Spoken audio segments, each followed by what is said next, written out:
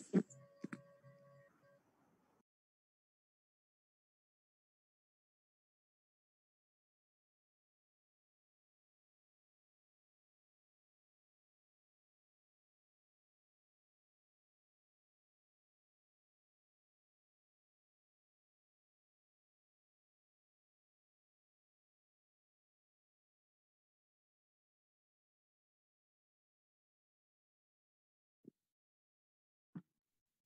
Baik. Untuk itu apa uh, rasio dari total Baik, uh, saya mulai. Uh, Assalamualaikum warahmatullahi wabarakatuh. Selamat pagi. Salam sejahtera bagi kita semua. Uh, yang terhormat Bapak Wakil Dekan FTPUB, uh, Bapak Dr. Dodik Pranowo. Uh, kemudian yang kedua yang terhormat kepada Profesor Endang S. Rahayu dari Kepala Pusat Studi Pangan dan Gizi UGM. Kemudian uh, yang terhormat kepada Bapak Kusno Hadi Jijat, MT, eh, General Manager dari PT Geo Jedang Indonesia. Dan yang keempat adalah Bapak Dr. Nur Hidayat, uh, Ketua Riset Group Bistek UB. Dan yang kelima adalah Ibu Siti Asmaul Mustaniro, Eh, Ketua Jurusan Teknologi Industri Pertanian FTPUB, eh, kemudian Bapak Suprayogi, dan Bapak Ibu peserta webinar seri 2 Teknologi Industri Pertanian Fakultas Teknologi Pertanian Universitas Brawijaya. Eh, puji syukur kami panjatkan kehadirat Allah Subhanahu wa taala, Tuhan yang Maha Esa karena atas limpahan rahmat, taufik serta hidayahnya kita bisa berkumpul secara online dalam acara webinar atau diskusi daring dari jurusan TIP UB dengan judul Aplikasi Teknologi Mikrobial dalam Penciptaan Agroindustri Berkelanjutan. Eh, dan hari ini pada hari Rabu 8 Juli 2020 akan kita laksanakan pada pukul 10 sampai pukul 11 siang waktu Indonesia Barat. Dan pada hari ini uh, Susunan acaranya adalah sambutan terlebih dahulu dari Bapak Wakil Dekan Fakultas Teknologi Pertanian UB kepada Bapak Dr. Dodi Pranowo. Kami persilahkan. Ah, baik, terima kasih uh, Bu Andan. Assalamualaikum uh, warahmatullahi wabarakatuh. Selamat pagi dan salam sejahtera bagi kita semua. Uh, yang kami hormati Prof. Trise dari UGM, kemudian Pak Kusno dari uh, Jim uh, beliau adalah GM-nya, uh, kemudian uh, Bapak Dr. Uh, Nur Hidayat yang sekarang menjadi KPSS 3 ini luar biasa. Uh, dan Bapak Ibu sekalian, terima kasih atas uh, kehadirannya pada acara yang luar biasa uh, pada kesempatan kita kali ini yaitu uh, webinar jurusan TIP uh, terkait dengan topik aplikasi teknologi mikrobial dalam penciptaan agroindustri berkelanjutan. Kami di Fakultas Teknologi Pertanian, uh, utamanya Universitas Brawijaya, itu memang sekarang lagi gencar-gencarnya itu mengembangkan berbagai macam teknologi mikrobial yang uh, bermanfaat atau uh, dalam rangka untuk menunjang agroindustri berkelanjutan. Nanti akan disampaikan lebih lanjut oleh Bapak Dr. Nur Hidayat. Beliau ini memang ahlinya mikrobiologi di eh, FTP dan salah satu dosen yang sangat senior dan uh, memiliki berbagai macam buku.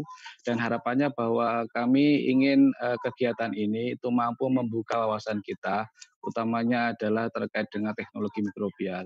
Kita tahu bahwa uh, 98% mungkin uh, makhluk hidup yang ada di uh, apa namanya dunia ini itu dihidupi atau di apa namanya hinggapi oleh mikroorganisme yang cukup banyak sekali. Sehingga ini mungkin nanti menjadi salah satu bahasan yang cukup menarik bagaimana kemudian seluruh mikro itu uh, dapat dimanfaatkan dan dapat dikembangkan lebih lanjut oleh uh, para ahli uh, di bidang teknologi mikrobial.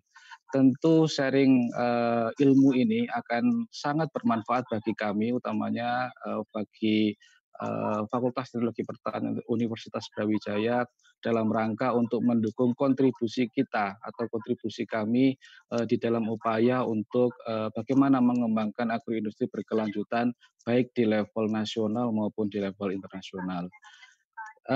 Untuk mempersingkat waktu, kami kira cukup sekian uh, sambutan dari kami.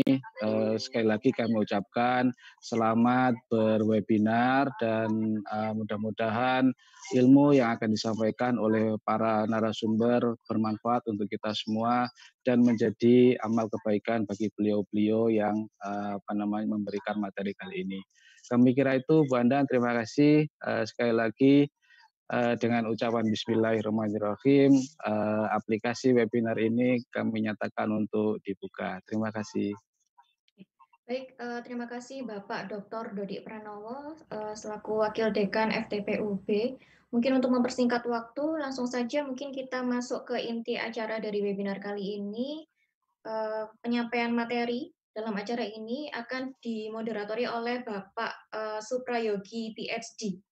Kepada Bapak Suprayogi PSD, kami persilahkan.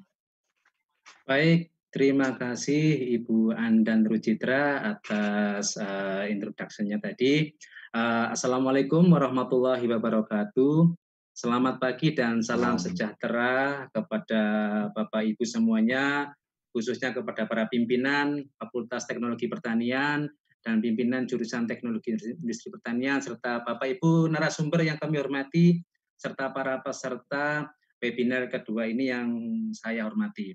Uh, tadi sudah disebutkan dan sudah dijelaskan sedikit oleh Bapak Wakil Dekan 2 tentang uh, pemanfaatan dari mikrobial bahwa kita ketahui bahwa uh, sebenarnya mikroorganisme itu sudah diketahui ribuan tahun uh, sebelum Masehi.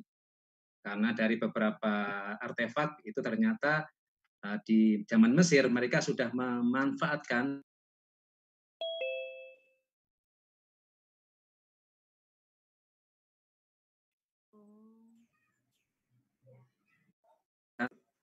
Baik. Uh, Assalamualaikum warahmatullahi wabarakatuh. Selamat pagi, maaf. Uh, bahwa Eh, mikroorganisme itu sudah kita ketahui sejak ribuan tahun yang lalu dan sampai saat ini itu sangat berperan penting bagi manusia, bagi alam, dan bagi peternakan dan juga bagi perikanan dan sebagainya dan juga pertanian dan juga lingkungan. Sampai bahwa di dalam tubuh kita itu juga ada banyak sekali mikroorganisme yang sangat bagus dan sangat berperan bagi kehidupan kita. Begitu juga dalam dunia medis juga banyak uh, sangat berperan. Di kesempatan hari ini ada tiga pakar yang mana dari akademisi dan dari aplikasi dari industri yang mana nanti akan kita dengarkan dan kita uh, kita cermati dan kita pahami tentang bagaimana aplikasi teknologi mikrobial dalam penciptaan agroindustri yang berkelanjutan.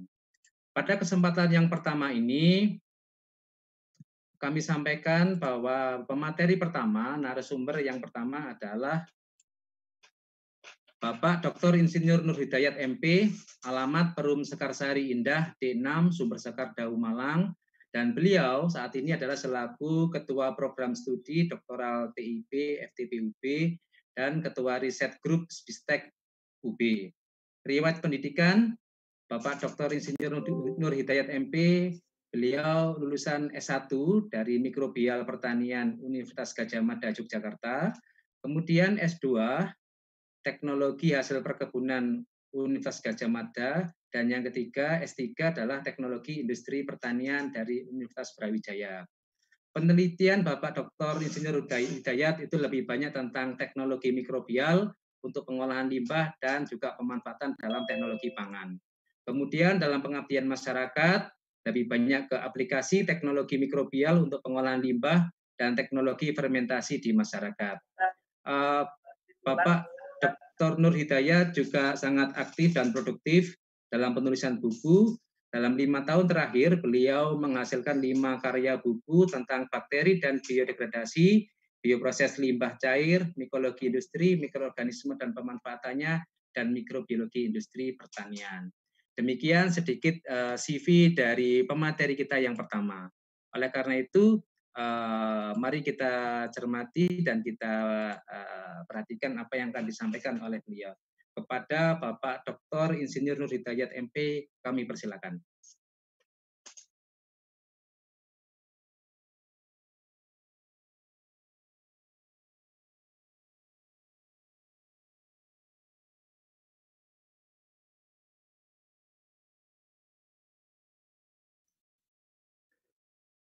Assalamualaikum warahmatullahi wabarakatuh.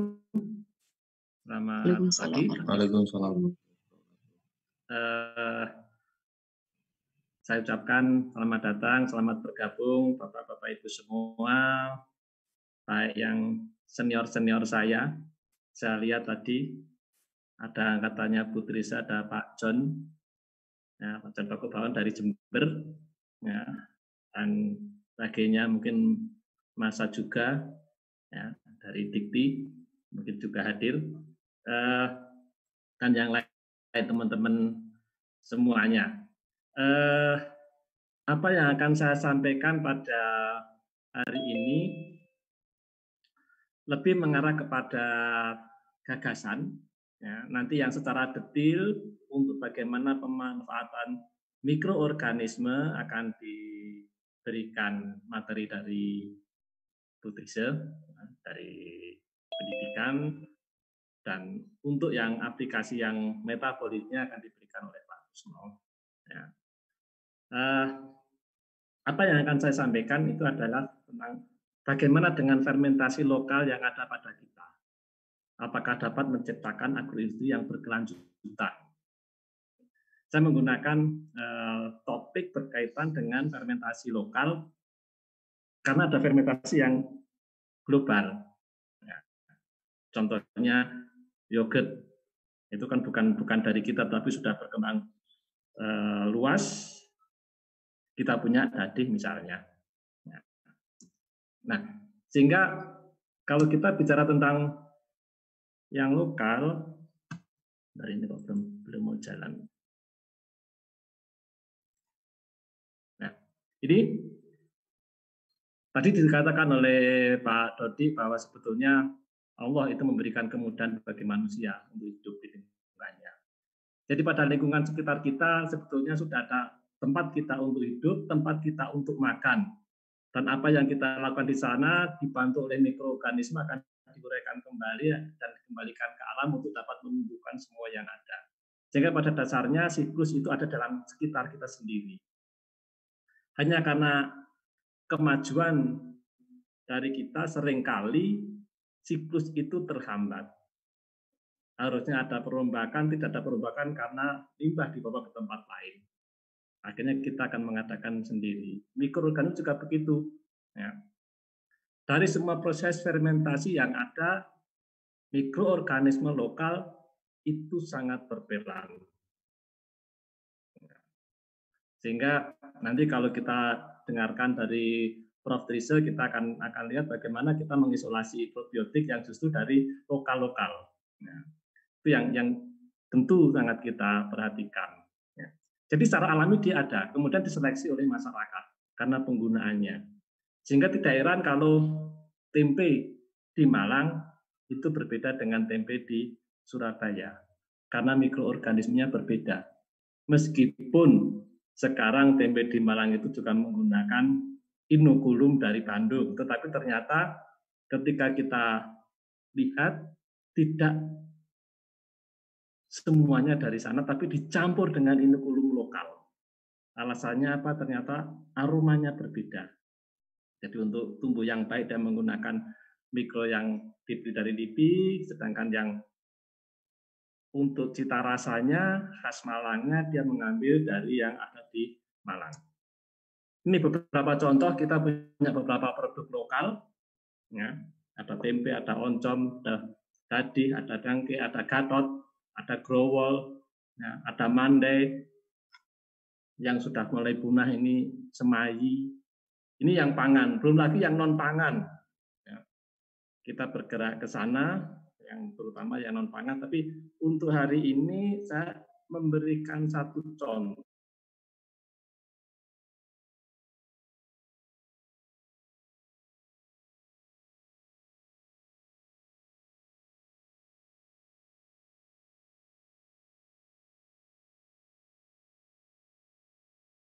tapi itu dapat juga kita gunakan nanti untuk petani. Nih, bagaimana dengan tempe? Tempe Malang, tempe Jogja berbeda. Kalau kita merasakan, ya, belum lagi nanti kalau kemasannya berbeda, katanya juga berbeda. Masalahnya, sebagian besar tempe yang kita gunakan itu kedelainya adalah kedelai impor. 90 persen kedelainya besar-besar dibandingkan kedelai lokal. Nah, kalau kedelai lokal tidak dapat menggantikan kedelai impor, maka program pajale atau uh, swasembada kedelai nanti akan tidak berjalan dengan baik karena tidak digunakan. Dengan berbagai macam alasan meskipun di beberapa pedagang ketika dia menggunakan istilah ini dijual tempe dari kedelai lokal laku keras. Tetapi ketika tidak diberitahukan ini kedelai lokal bukan ternyata konsumen lebih memilih pada kedelai yang dari impor. Kenapa? Tempe dari kedelai impor itu ukuran bijinya lebih besar?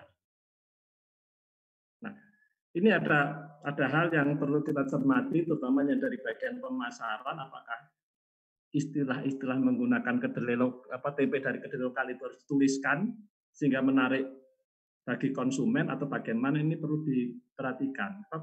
Nampaknya kalau kita lihat tulis, orang lebih suka pada bahan baku dari impor dengan alasan kedelainya lebih besar. Tantangan bagi kedelai kita apakah dapat dibuat ukuran lebih besar, itu bagian orang budidaya. Ya.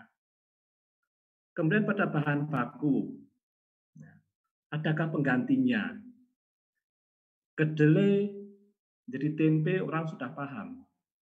Tapi ketika kita mengembangkan tempe kecipir, tempe pengut, tempe macam-macam, perkembangannya sangat memprihatinkan. Setelah penelitian bagus, organoleptik bagus, tetapi begitu masuk pasar, nampaknya hancur. Orang tahunya tempe adalah kedelai. Diberi yang lain, itu dianggap itu sebagai pemalsuan dan sebagainya. Mungkin kita perlu mengembangkan tempe yang lainnya dengan tulisan yang jelas, sehingga orang lain menjadi lebih paham. Bahan-bahan baku dengan menggunakan pengganti itu mungkin sudah umum digunakan pada produk-produk yang bahan bakunya tidak menjadi bahan pangan. Budidaya jamur itu mungkin menggunakan berbagai macam limbah itu sudah dapat dilakukan. Ya, produk-produk metabolit, produk-produk enzim, produk bioetanol, bahkan bioetanol sudah kita generasi 2, generasi 3, generasi sekarang mungkin masuk generasi keempat untuk bahan bakunya. Tetapi untuk pangan nampaknya memang ada hal yang perlu diperhatikan lebih lebih detail, ya, terutama dengan persepsi konsumen. Ya. Yang kita lihat. Bagaimana peluang dan tantangannya? Tadi dikatakan dia dari isolat lokal dan sebagian besar belum dikembangkan sebaik pada ragi roti ataupun ragi tempe. Ragi tape sudah ada tetapi belum berkembang dengan baik. Kenapa ragi tape? Karena mixnya. Dia campuran dari beberapa mikroorganisme berbeda dengan vermipan maupun ragi tempe. Karena satu, sehingga lebih mudah. Kendalanya ketika itu merupakan inokulum mix bagaimana jika terjadi mutasi, bagaimana mengatur komposisi.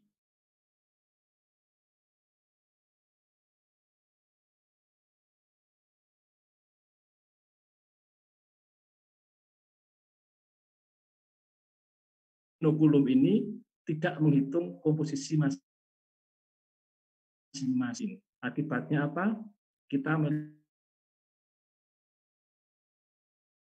atau industri tape sudah berusaha menggunakan ragi yang sama agar yang standar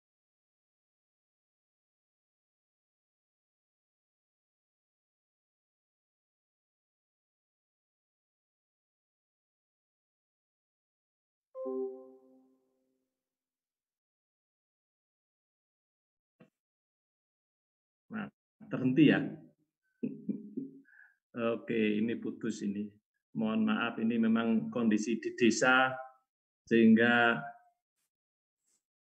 materinya menjadi terputus. Ya. Nah, itu tadi dari sisi bahan baku. Bagaimana dengan sisi dari prosesnya sendiri? Nah, ini peluang dan tantangannya tadi. Ya. Proses kita harus perhatikan sanitasi yang ada pada industri fermentasi lokal. Apakah sudah sangat bagus? Apakah sudah memenuhi standar? Bagaimana dengan SDM-nya? Di sini kadang-kadang perlu juga diperhatikan, jangan sampai produk ini menjadi kalah dengan produk-produk yang kemudian muncul karena prosesnya ya baik. Nah, Bapak Ibu yang mungkin pengajar mungkin harus mulai bagaimana kalau pengabdian itu bagaimana sanitasi diperhatikan. Pengabdian pada sistem-sistem sanitasi sehingga kualitas produk itu dapat terjamin.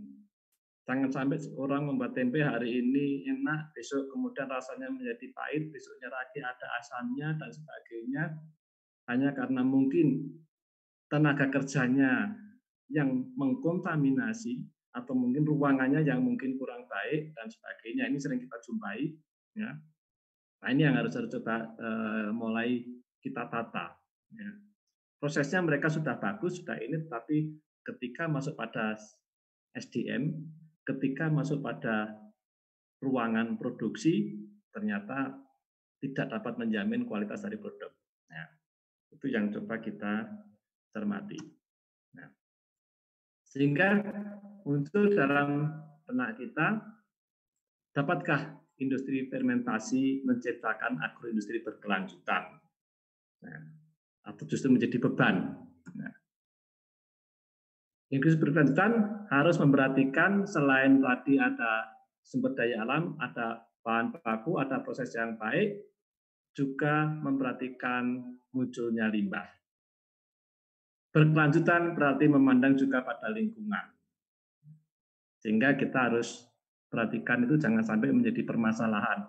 Dan kata kuncinya harus bisa. Jadi pertanyaan yang sebenarnya tidak, ya, tapi harus kita perjuangkan, kita harus bisa. Ini ambilkan contoh lagi pada industri tempe, nanti pada yang lain dapat kita bicarakan pada masing-masing mungkin punya kasus-kasus sendiri. Ya. Pada tempe, itu tadi pada bahan baku, inokulum, proses, kemudian juga limbah. Contoh yang simpel pada bahan baku, kedelainya. Kalau kedelai itu impor, pasti akan membutuhkan biaya transportasi. Transportasi juga menimbulkan polusi. Kalau lokal, apakah ada di daerah Malang, di daerah Jogja, daerah Ngawi, daerah-daerah tempat produsen tempe itu menanam kedelai? Jangan-jangan baik impor maupun lokal ternyata berjauhan dengan lokasi produksi. Ini juga harus menjadi pertimbangan. Nah. Kemudian inokulumia. Nah.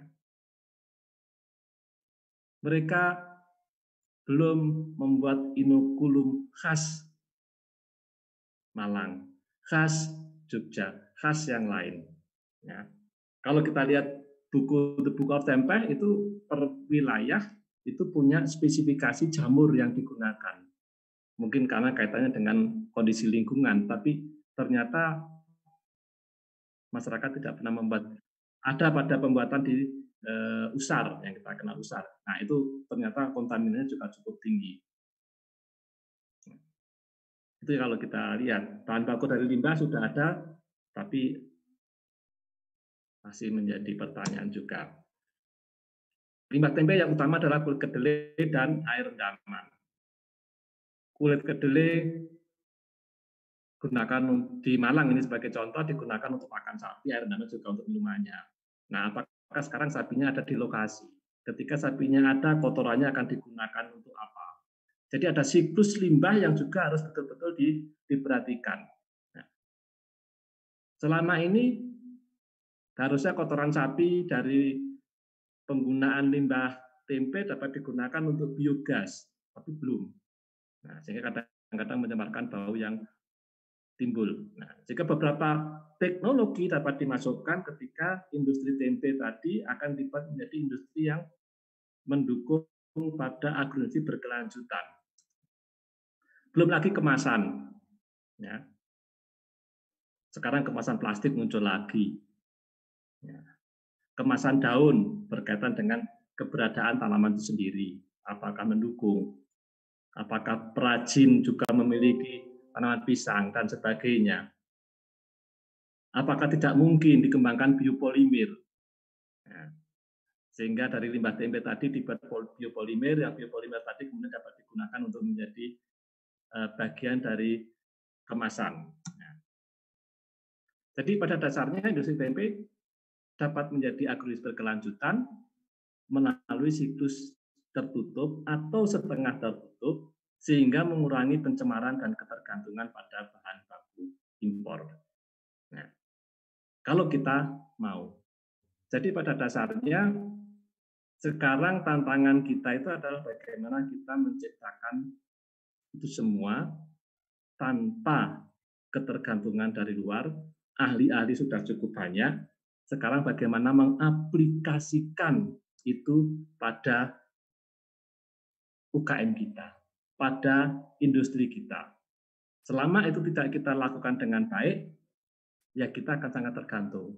Tergantung pada bahan bakunya, tergantung pada inokulumnya, kemasannya kita juga akan tergantung. Ya, kita hanya tidak tergantung mungkin hanya pada prosesnya dan pada makannya saja.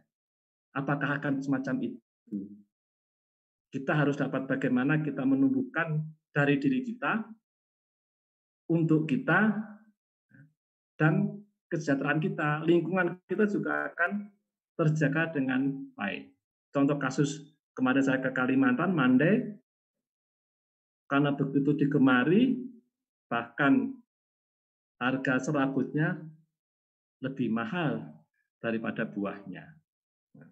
Di sini buahnya lebih mahal. Kebalikan. Nah ini yang harus kita coba cermati. Mari kita mencoba berpikir bersama, dapatkah kita berupaya seperti produk dari luar. Yogurt bisa masuk dengan baik, roti bisa masuk dengan baik.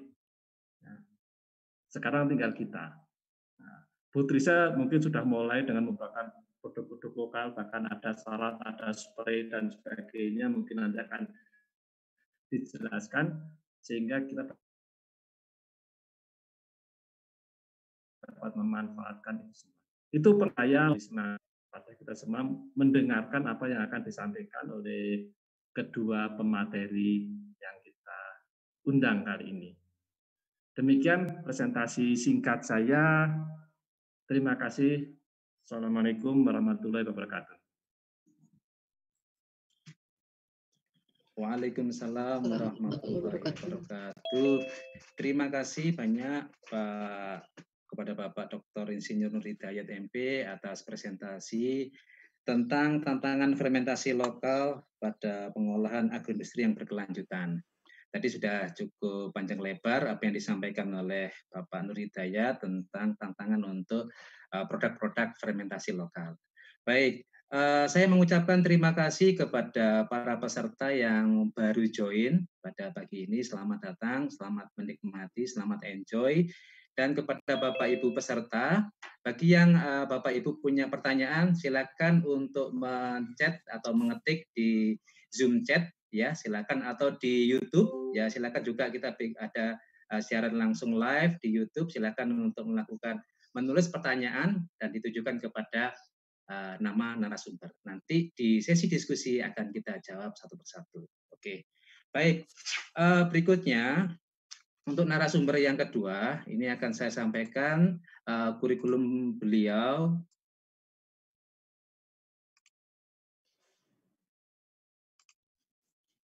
Ya. Uh, untuk pembicara yang kedua, yaitu nama Ibu Profesor Dr. Insinyur Endang Sutriswati Rahayu MS, Beliau adalah Kepala Pusat Studi Pangan dan Gizi Universitas Gajah Mada Yogyakarta dan riwayat pendidikan beliau S1 dan S2 beliau tempuh di Fakultas Teknologi Pertanian UGM dan untuk program doktoral beliau tempuh di University of Tokyo Jepang. Uh, Profesor Endang Sutriswati Rahayu, beliau untuk penelitian dan publikasi lebih banyak meneliti tentang bakteri asam laktat, probiotik, good microbiota, jamur, dan mycotoxin. Dan beliau pada saat ini menjad, uh, menjabat yaitu satu sebagai anggota Komisi International Commission of Food Mycology atau ICFM dan President of Asian Federation of Societies for Lactic Acid Bacteria, EFSLEB, periods 2019 to 2021. Dan saat ini beliau sebagai Ketua Indonesian Society Society for Lactic Acid Bacteria dan Good Microbiota. Jadi ini ada Prof Endang cukup menarik uh, tentang uh, keahlian beliau. Nanti kita akan belajar banyak dari Prof. Endang. Untuk waktu dan tempat kepada Prof. Endang Sutriswati Rahayu, kami persilahkan.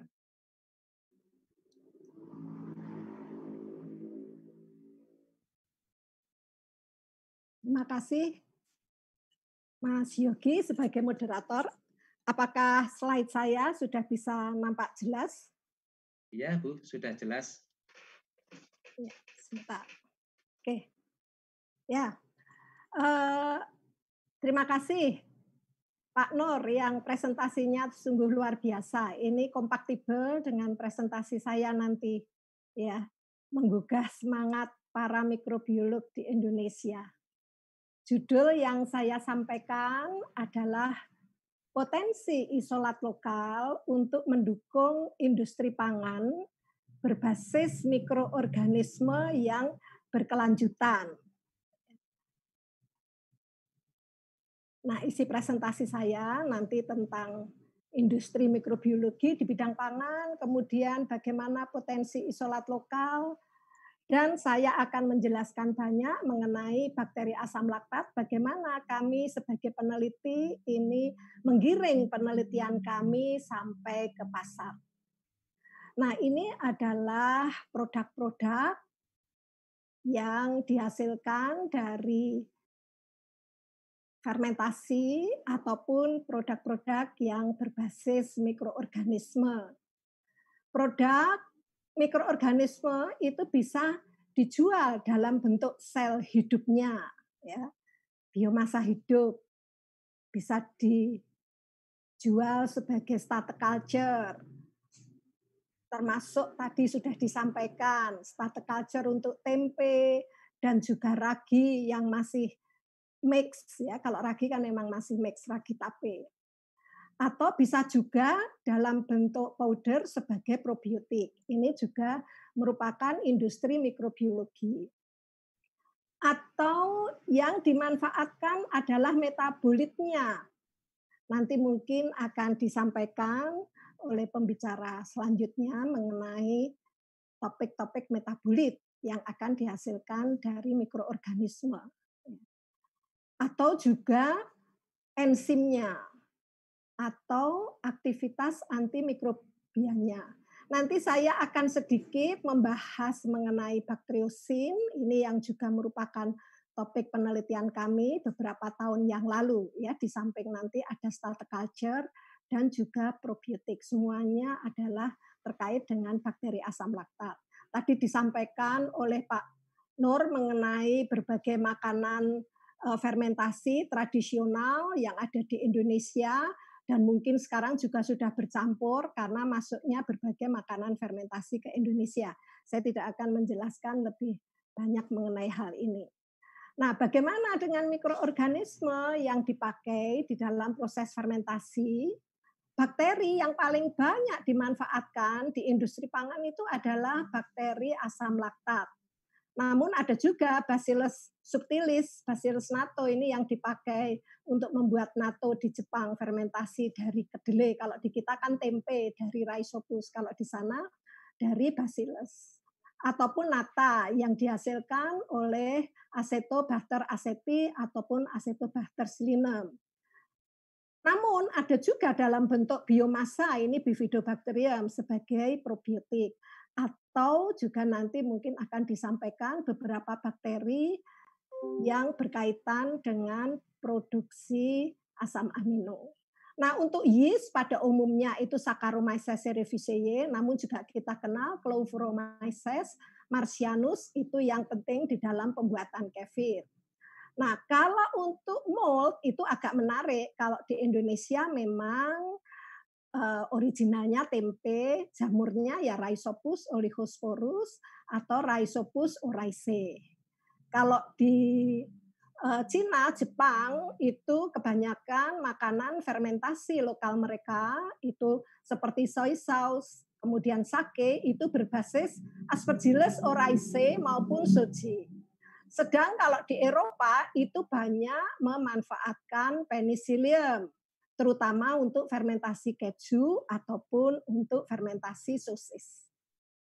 Nah, mari kita lihat. Ini industri pangan berbasis mikrobiologi yang ada di Indonesia.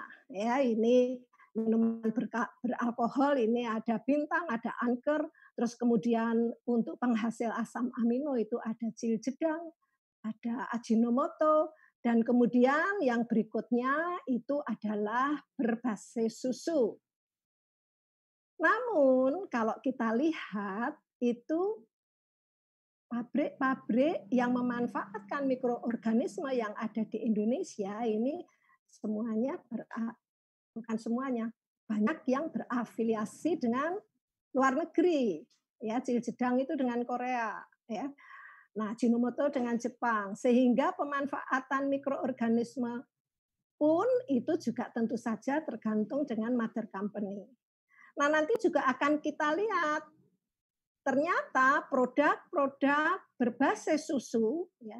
Kalau PT Yakult sudah jelas ya pakai sirota strain Ternyata yang lainnya itu juga menggunakan kultur starter dari impor.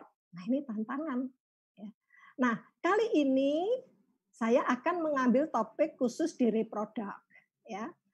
Karena ini nanti potensi ke depan sungguh luar biasa. Mari kita lihat seberapa banyak orang Indonesia itu mengonsumsi uh, susu ya. Ini kalau kita lihat dari target di 8 WA itu kan dari target 20 liter itu belum tercapai ternyata 20 liter per kapita per tahun. Nah, kalau dibandingkan dengan negara-negara ASEAN ya, dengan Vietnam kita pun kalah. Apalagi dengan Malaysia, apalagi Brunei Darussalam. Di lain pihak bisa kita lihat ke sini bahwa ya, produksi susu perusahaan sapi perah itu memang meningkat. Nah ini ya saya kira ini potensi yang baik ya. Semoga nanti juga konsumsi susu kita juga lebih meningkat ke depannya. Demikian juga konsumsi yogurt. Ini kalau kita lihat ya, Indonesia itu sampai tidak ada ini karena sulit ya meletakkan di sini yang hanya kurang dari 10 kg per kapita per tahun. Padahal ya kalau kita lihat ini yang paling tinggi itu adalah Uni Eropa, terus kemudian diikuti Amerika, Brasil dan Jepang. Ya. Nah ini kalau saya menyampaikan ini adalah sebagai peluang bisnis ke depan ya dalam rangka meningkatkan konsumsi susu di Indonesia. Nah, Mari kita lihat top brand index susu fermentasi dan yogurt yang ada di Indonesia. Untuk susu fermentasi ternyata memang Yakult itu menguasai hampir 90% pasar yang ada di Indonesia dan selebihnya ya 10% itu Kalpiko. Semuanya itu dari Jepang ya. Sehingga kalau kita itu mau berbisnis susu fermentasi ya dengan isolat lokal itu mungkin kita harus uh, penuh perjuangan, tapi tidak apa-apa ya. Kita harus tetap semangat. Ini susu fermentasi, kalau ini yogurt bisa kita lihat di Nori itu memang eh, paling banyak menguasai pasar ya dan kemudian diikuti oleh yang lain-lainnya. Nah, ini adalah list perusahaan susu fermentasi dan yogurt di Indonesia serta starter yang digunakan ya. Mari kita lihat di sini starter-starter yang dipakai oleh perusahaan-perusahaan dairy ya, khususnya yang menghasilkan produk fermentasi itu semuanya impor ya. Jadi ya ada memang yang menuliskan strain number-nya ya sehingga kita bisa menelusuri oh memang ini berpotensi sebagai probiotik walaupun memang uh, klaim untuk probiotik sampai saat ini kan belum bisa ya ini ada strain sirota tetapi pada umumnya memang hanya menampilkan secara umum saja bakteri asam laktat. Ya. Nah ini strain-strain supplier. Ya, sekarang itu kan sebetulnya juga tidak sulit membeli kultur bahkan online juga bisa ya kita mau membuat yogurt online di rumah beli kultur online juga bisa ya jadi saya kira tidak ada masalah. Nah di Indonesia paling banyak itu adalah kalau kita lihat tadi pabrik-pabrik susu fermentasi itu menggunakan kultur yang berasal dari Chris Hansen. Ya, Chris Hansen memang pasarnya sungguh luar biasa di Indonesia. Ya, banyak yang uh, menggunakan atau membeli kulturnya itu dari Chris Hansen. Ya, walaupun memang belum bisa mengklaim bahwa produknya itu tergolong produk probiotik ya seperti Yami itu kan dia menggunakan isolat probiotik tetapi kan memang belum bisa mengklaim bahkan Yakult pun juga belum bisa mengklaim kalau produknya itu adalah produk uh, probiotik.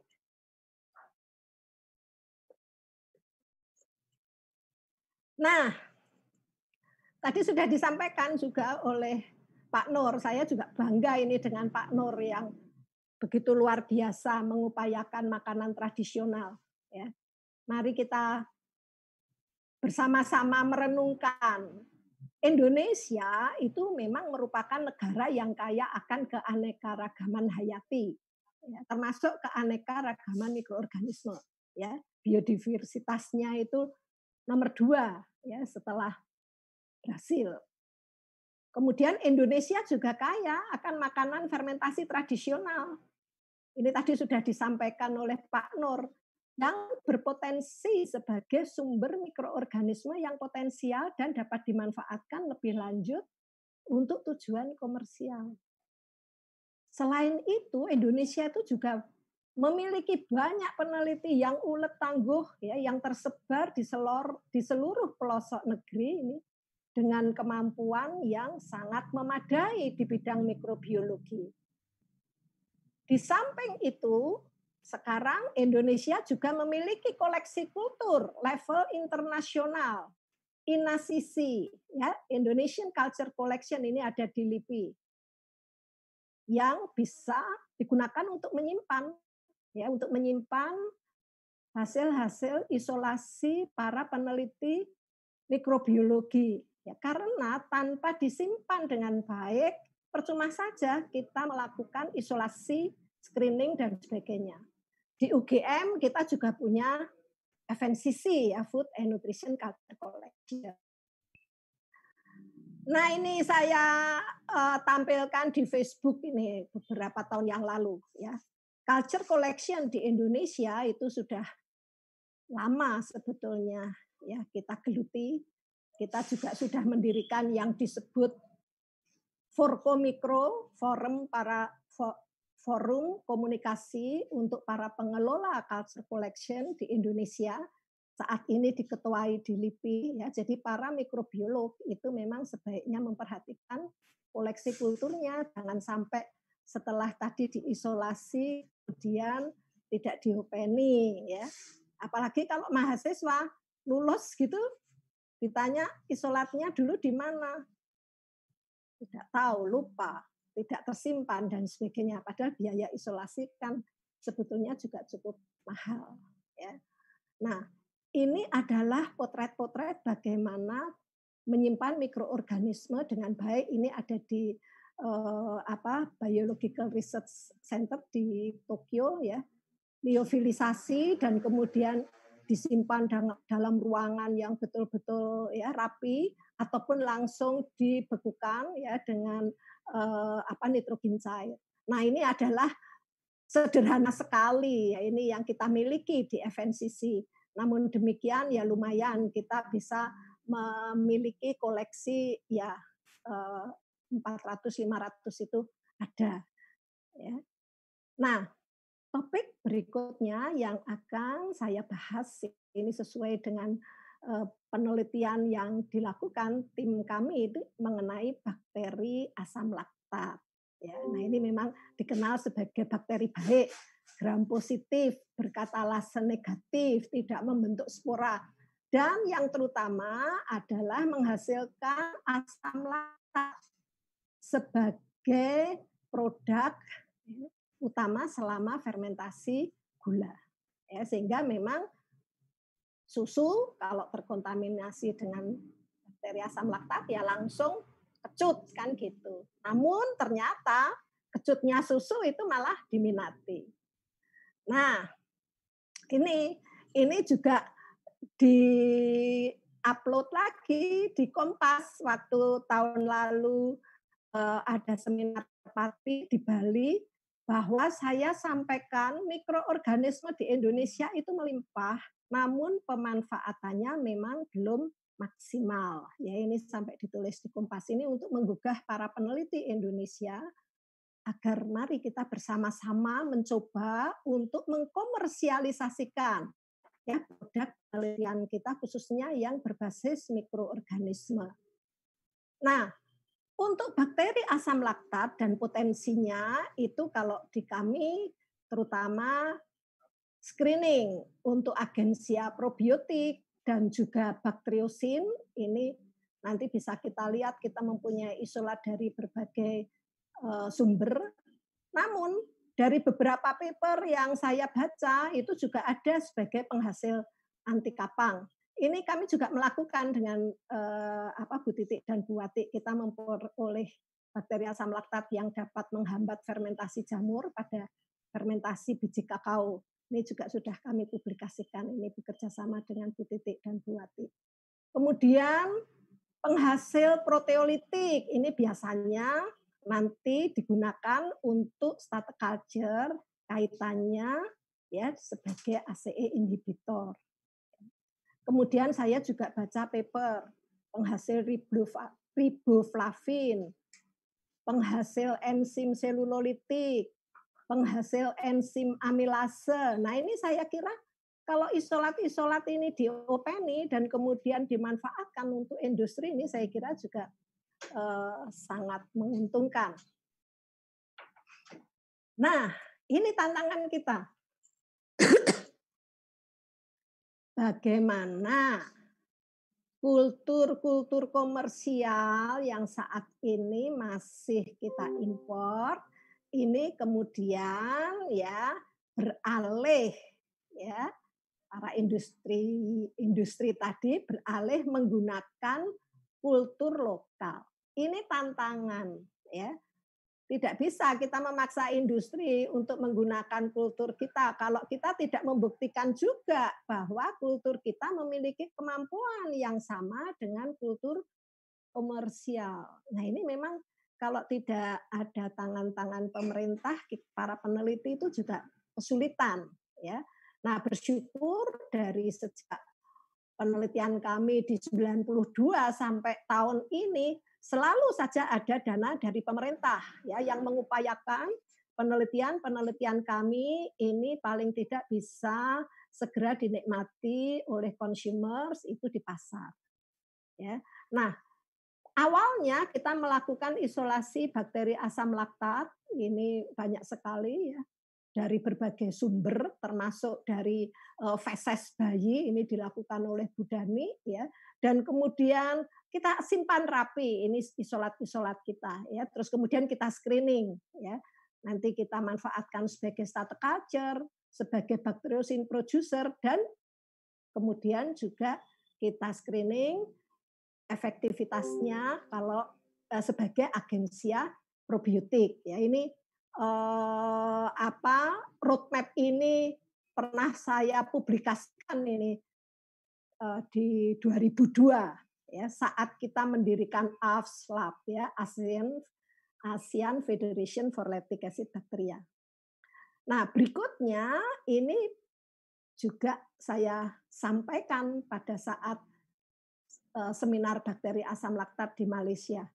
Bagaimana isolasi-isolasi yang kita lakukan yang kemudian kita kategorikan sebagai starter untuk makanan fermentasi, biopreservatif, probiotik ini dari lab dibawa ke industri. Ini tugas kita, ya, tugas para peneliti pertemuannya dengan industri ini nanti di pre-komersialisasi. Pemerintah menyediakan dana, ya, menyediakan beberapa skema penelitian, ya, uh, untuk apa TL, TLR readiness, uh, apa namanya singkatannya saya lupa. Kalau sudah memasuki pre-komersialisasi ini beberapa skema penelitian itu ada, ya. Nah nanti bisa bisa sebagai kultur starter, bisa prosesnya dimodifikasi atau produk yang dimodifikasi atau sebagai new product. Nah, ini yang kemudian menjadi roadmap kita ya untuk membawa penelitian kita ini sampai ke industri. Nah, ini ini saya sisipkan ini uh, apa? Ini, itu kayak ngasih Pak. Sudah, Pak Saleh sudah ini saya sisipkan bakteriosin karena apa? Karena memang saat ini kan sedang ada kasus listeria monocytokines. Bakteriosin ini memang uh, di idem, apa di definisikan sebagai polipeptida yang memiliki aktivitas antimikrobia dengan spektrum terbatas ya. Jadi beda ini bukan hasil metabolisme tetapi dia langsung produk dari DNA. Nah, ini kami pernah melakukan isolasi bakteri asam laktat penghasil bakteriosin ini di tahun berapa itu ya. Ini ada paper bisa kita lihat di sini bagaimana kita melakukan screening. Ini koloni-koloni yang memberikan clear zone ini berarti kemungkinan penghasil bakteriosin. Kemudian kita uji dengan beberapa uh, strain-strain murni, ini ada Vibrio, ada Staphylococcus, dan ini ada Listeria. Ya, ini Listeria langsung kami beli waktu itu dari ETCC. Nah, Bacteriosin producer yang kami miliki yaitu strainnya Pediococcus acidilactici, ini juga kemudian bakteriosinya sudah kita sekuen ya ini penelitiannya Putri Marwati. Bahkan di sini bisa kita lihat ya kalau sel sehat ya tidak ada bintil-bintil, tetapi kalau sel itu diberi bakteriosin ini mulai terjadi kerusakan ya dinding selnya dan ini akan menyebabkan kematian. Nah, untungnya bakteriosin ini stabil termasuk stabil dengan pemanasan. Nah, ini ini memang saya sisipkan untuk melihat kasus listeria bisa kita lihat di sini ya. Ini penelitian yang kami lakukan itu adalah kita menggunakan 10% skim milk yang kemudian diinokulasi dengan listeria dan ke dipasteurisasi kemudian disimpan dingin ya. Nah, listeria yang tersisa 10 pangkat 2 itu pada kondisi simpan dingin ya, dia langsung cepat tumbuh ya. Langsung ini dalam dua minggu saja jumlahnya sudah mencapai 10 pangkat 7. Ini listeria yang tanpa penghambatan ya, tumbuh di skemel ini tadi karena dia kan memang sikrotropik ya. Tapi kalau diberi nisin ini listeria langsung mati. Tapi kalau diberi agensia tadi yang kami miliki bakteriosin like product, nah ini listeria bisa dihambat sehingga jumlahnya tetap saja. Ini artinya sifat ya antibakteri yang kami miliki itu bukan bakterisidal tapi hanya bakterio statik ya, tidak membunuh, hanya menghambat pertumbuhan. Kalau dihitung ya tetap ada aja ini, tetap ada di sini, tapi dia tidak tumbuh.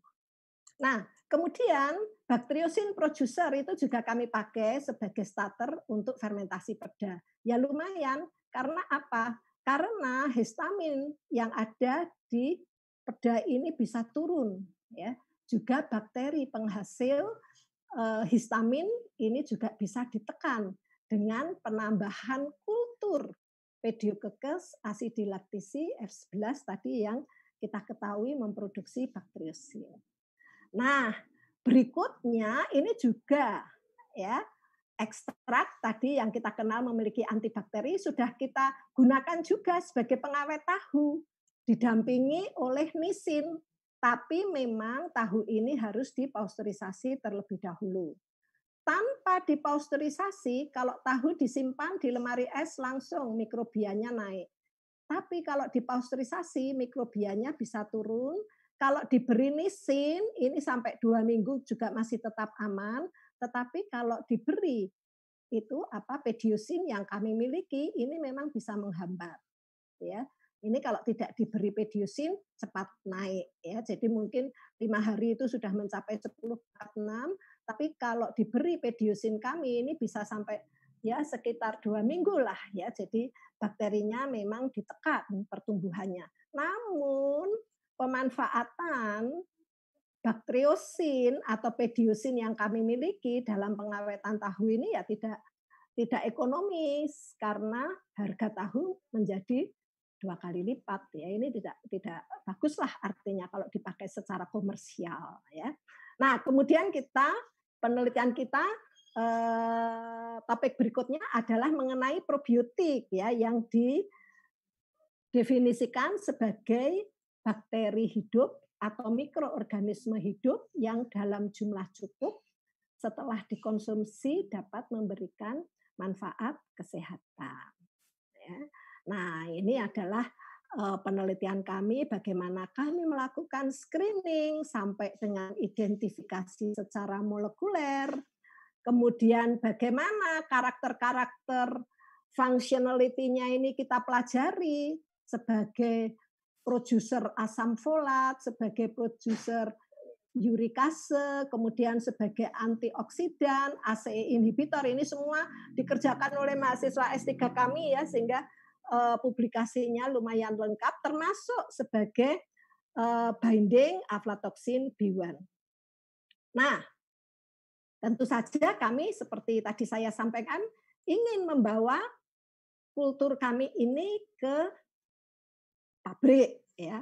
Bekerja sama dengan PT Yami kami menyiapkan starter baik dalam bentuk cair maupun dalam bentuk powder diolah di sana, dilakukan fermentasi di PT Yami dan kemudian ini eh, apa hasil fermentasinya ya mirip dengan yang memang sudah diproduksi oleh PT Yami untuk melihat apakah penggunaan kultur kami ini bisa diterima oleh eh, apa consumers ya. Nah, kami juga lakukan ini roadshow ke Denpasar, ke Surabaya untuk membawa untuk melakukan istilahnya market test ya produk yang tadi difermentasi oleh isolat kami ini sambil kita uh, melakukan uh, apa istilahnya ya promosi mengenai uh, probiotik ya yang berpotensi menyehatkan. Nah, memang kalau dilihat dari hasil-hasil dan ini juga sudah kami publikasikan, isolat yang kami miliki itu memiliki karakter yang tidak berbeda ya diterima oleh consumers. Consumer bahkan tidak bisa membedakan ini mana yang isolat yang asli, mana yang isolat yang lokal. Ya.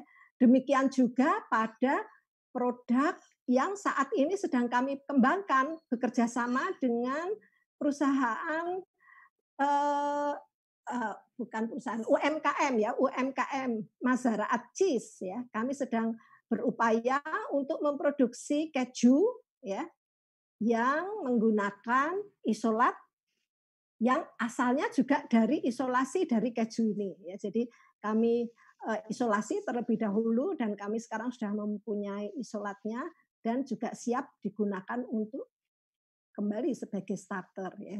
Ini, ini ternyata Yeah. Mohon maaf Prof Endang, ya. waktunya kurang lima menit lagi. Yeah. Hasil hasilnya juga ternyata tidak berbeda. Yang merah itu adalah yang dari kami. Kalau yang biru itu yang uh, import ini dari Flora Danica. ternyata daya olesnya masih kurang bagus. Kelembutannya juga masih kurang bagus. Tetapi warna, rasa, dan aroma itu tetap bisa bersaing.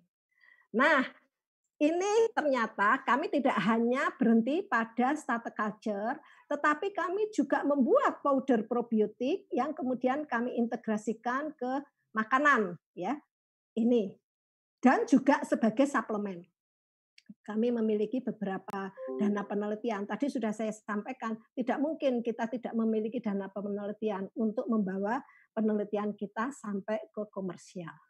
Nah, ini adalah coklat probiotik yang sudah ada di pasaran. Ini probiotiknya kami supply bekerja sama dengan PT eh, dengan CV Dalam ya coklat Dalam ini sudah ada di Shopee bisa dibeli. Ini adalah perjalanan kami. Dulunya kami membuat dengan kemasan yang eh, sangat sederhana dan yang terakhir ini seperti ini kemasannya ya. Dan promosi kita adalah Cobio, coklat probiotik ini mengandung mikrobia baik. Nah, ini adalah fasilitas yang kami miliki di Pusat Studi Pangan dan Gizi. Kami memiliki unit produksi probiotik dan kultur starter ya. Uh, ada apa sentrif sentri uh, ini autoclave, kemudian ini centrifuge dan kemudian ada uh, freeze dry ya. Nah, ini adalah produk-produk yang sedang kami siapkan. Kami tetap ingin mensuplai kultur kami ke PT Yami. Kami juga uh, siap dengan probiogama, ini powder suplemen, dan Cobio itu dengan uh, apa Dana Rispro. Masih ada satu lagi yang sedang kami kembangkan itu adalah probiosis, tapi belum ada di pasaran. Ya, ini produk-produk kami. Nah, Uh, ini FNCC kalau ingin uh, apa mendapatkan informasi lebih lanjut ya. Nah, ini adalah alamat uh, email dan website kami Pusat Studi Pangan dan Gizi. Slide ini nanti akan kami share ke Ibu Bapak sekalian untuk bisa dinikmati. Saya kira demikian. Sekali lagi terima kasih. Baik, terima kasih banyak Prof. Endang atas presentasinya yang luar biasa, sehingga kita bisa terbuka wawasan bahwa ternyata Indonesia kaya akan diversifikasi indigenous isolate lokal. Seperti tadi yang juga disampaikan oleh Pak Nuri Daya dan juga Prof. Endang, dan ini adalah tantangan kita semuanya meningkatkan apa ya, semangat dan inspirasi kita bagaimana kita bisa memanfaatkannya, mengkomersialisasinya sehingga dari hasil-hasil riset itu bisa dihilirisasi sehingga menjadi sebuah produk yang bisa berkompetisi tidak hanya di lokal tapi juga di internasional supaya kita Indonesia tidak hanya menjadi pasar selama ini dari produk-produk uh, mikroorganisme yang ada di dunia. Baik sekali lagi terima kasih Prof Endang atas uh, presentasinya. Eh, Bapak Ibu yang kami hormati, eh, kami sampaikan bahwa untuk eh, webinar kali ini ini tidak hanya di, di, dilihat dan diikuti oleh para peserta dari seluruh Indonesia, tapi juga ada beberapa dari luar negeri. Karena saya tadi saya lihat ada beberapa peserta yang dari Jepang, kemudian dari Australia dan juga dari Eropa ikut join pada kesempatan webinar ini. Jadi sekali lagi terima kasih dan alhamdulillah untuk peserta kami sampaikan kurang lebih 940 oh maaf 94 ya. Tapi ini cukup bagus.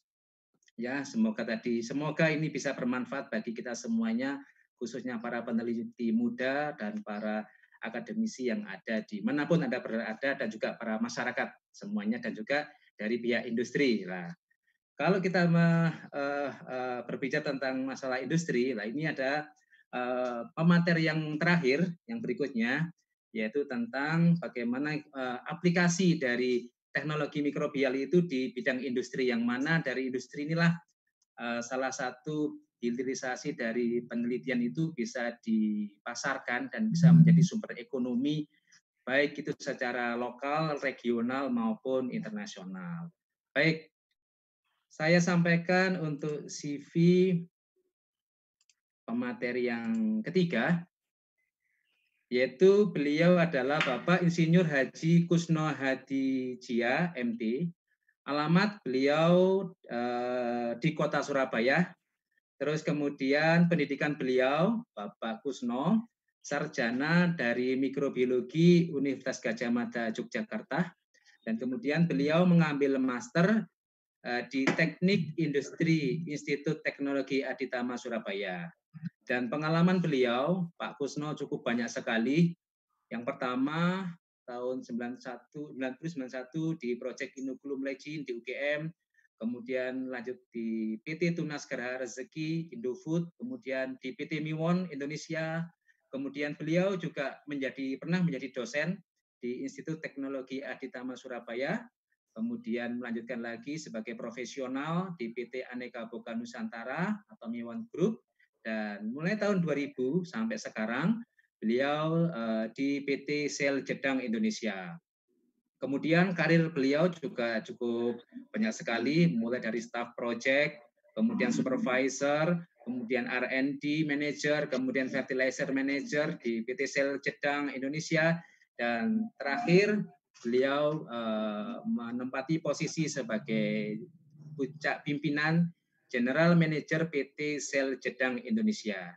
Dan Bapak Kusno Hadi Jia, dia juga merupakan sosok yang uh, inovatif dan kreatif serta produktif karena dibuktikan dengan penghargaan yaitu yang pertama adalah Creative Idea CG Only One Showcase from Sel Jedang Indonesia 2012 dan The Best Suggestion is IP uh, Sel Jedang Indonesia 2014. Baik, Bapak Ibu semuanya, ya ini adalah uh, eh, CV dari Bapak Kusno. Mari oleh karena itu mari kita sambut dengan aplaus masing-masing yaitu Bapak Insinyur Haji Kusno Hadi Jaya MD. Kepada Bapak Kusno kami persilakan.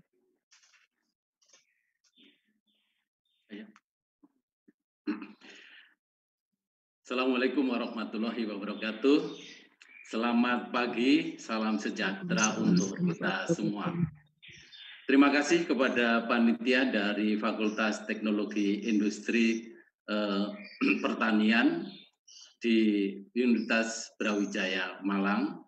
Pada kesempatan pagi hari ini saya diberi eh, kesempatan untuk gabung di webinar eh, tentang eh, peran mikroba dalam industri eh, dalam agroindustri yang berkelanjutan. Bapak Ibu yang saya hormati, eh, saya akan membawakan eh, item sesuai dengan bidang saya yaitu peran mikroba dalam produksi asam amino.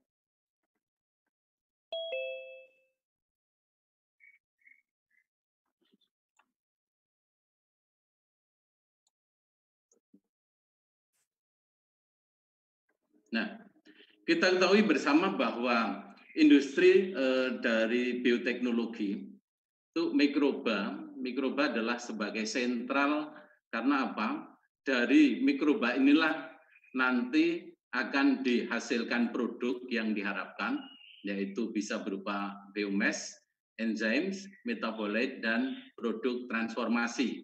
Nah, sifat dari industri ini adalah diproduksi secara uh, massal, artinya dalam jumlah besar, kemudian juga uh, secara kontinu, dan kualitas maupun produknya harus stabil, dan yang uh, terpenting juga ini khususnya uh, industri asam ini adalah high investment dengan modal yang besar. Berbeda dengan yang tadi pangan-pangan tradisional yang disampaikan oleh Pak Nur itu bisa dari perorangan atau UMKM. Dan juga uh, supaya bisa bersaing tentunya harus menggunakan uh, teknologi atau metode yang terkini atau uh, yang termodern. Nah, sebagai mikroba yang menjadi sentral produser atau yang mengubah bahan menjadi produk itu haruslah dipilih mikroba yang high performance, kinerja yang terbaik atau uh, high uh, efisiensi maupun efektif. Oleh karena itu uh, harus ditunjang oleh kondisi eksternal uh, yang bisa mendukung kehidupan dari mikroba itu, baik dari nutrisinya, kemudian dari lingkungannya maupun yang lain.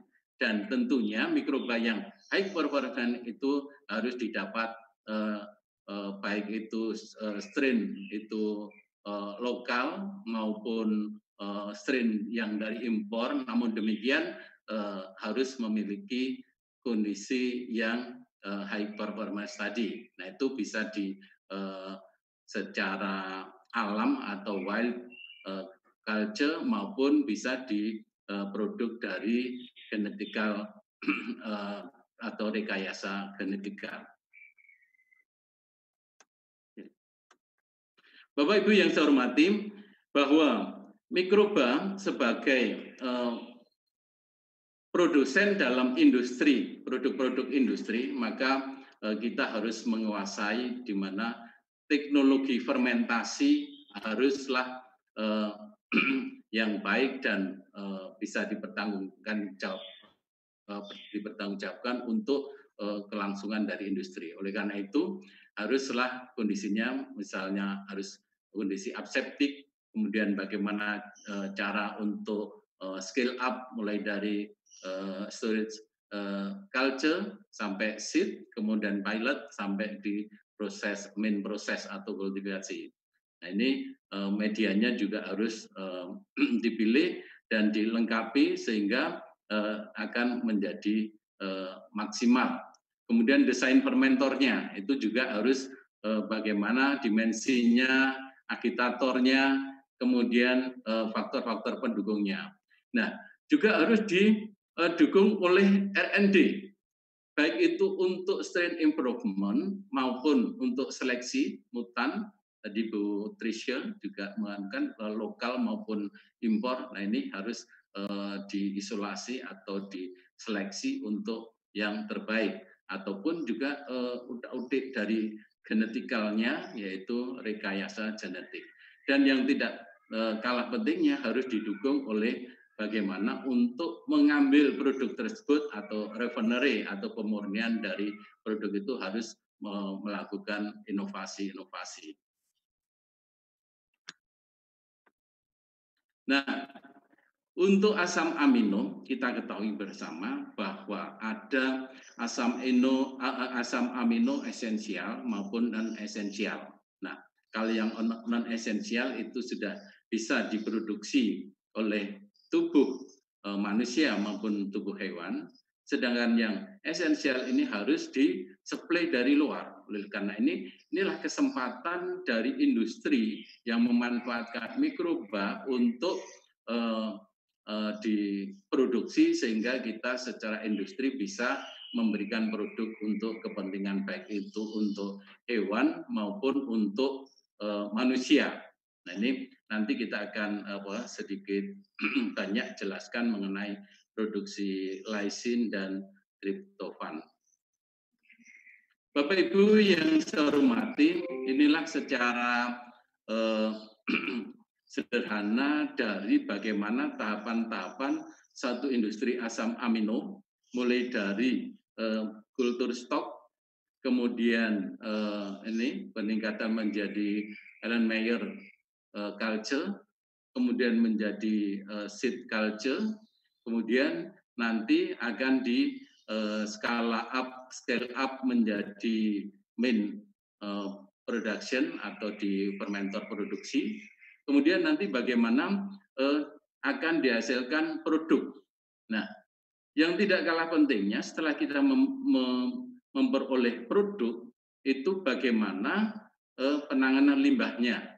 Nah, ini tadi Pak Nur sudah menyampaikan bagaimana kita di kehidupan sekarang harus memperhatikan soal lingkungan. Nah, ini ini penting menjadi supaya adanya keberlanjutan dari proses produksi atau main produk itu sendiri. Bapak Ibu yang saya hormati bahwa eh, bagaimana melakukan fermentasi dari asam amino itu yang merupakan ini eh, bahan baku ataupun juga merupakan substrat dari mikroba itu adalah uh, gula, larutan gula. Nah ini gula ini bisa diperoleh dari alternatif misalnya gula mentah ataupun tepung atau bit molasis atau ken molasis yang tersedia secara lokal. Namun kondisi saat ini sekarang kita banyak impor karena kebutuhannya sangat banyak sehingga eh, dari lokal tidak mencukupi. Dari eh, bahan-bahan baku ini kemudian kita juga melengkapi vitamin, mineral maupun eh, yang lain secara khusus misalnya eh, apa namanya untuk eh, glutamic acid atau asam amino glutamat yang nantinya akan diproduksi sebagai MSG misalnya, itu harus ada vitamin H misalnya. Nah, dari sini kemudian kita preparasi menjadi eh, media yang cocok untuk eh, bakteri atau mikroba yang eh, memang disesuaikan dengan apa yang nanti akan menjadi produknya. Dari situ kemudian ada proses sterilisasi. Ini menjadi penting bagi proses fermentasi karena apa?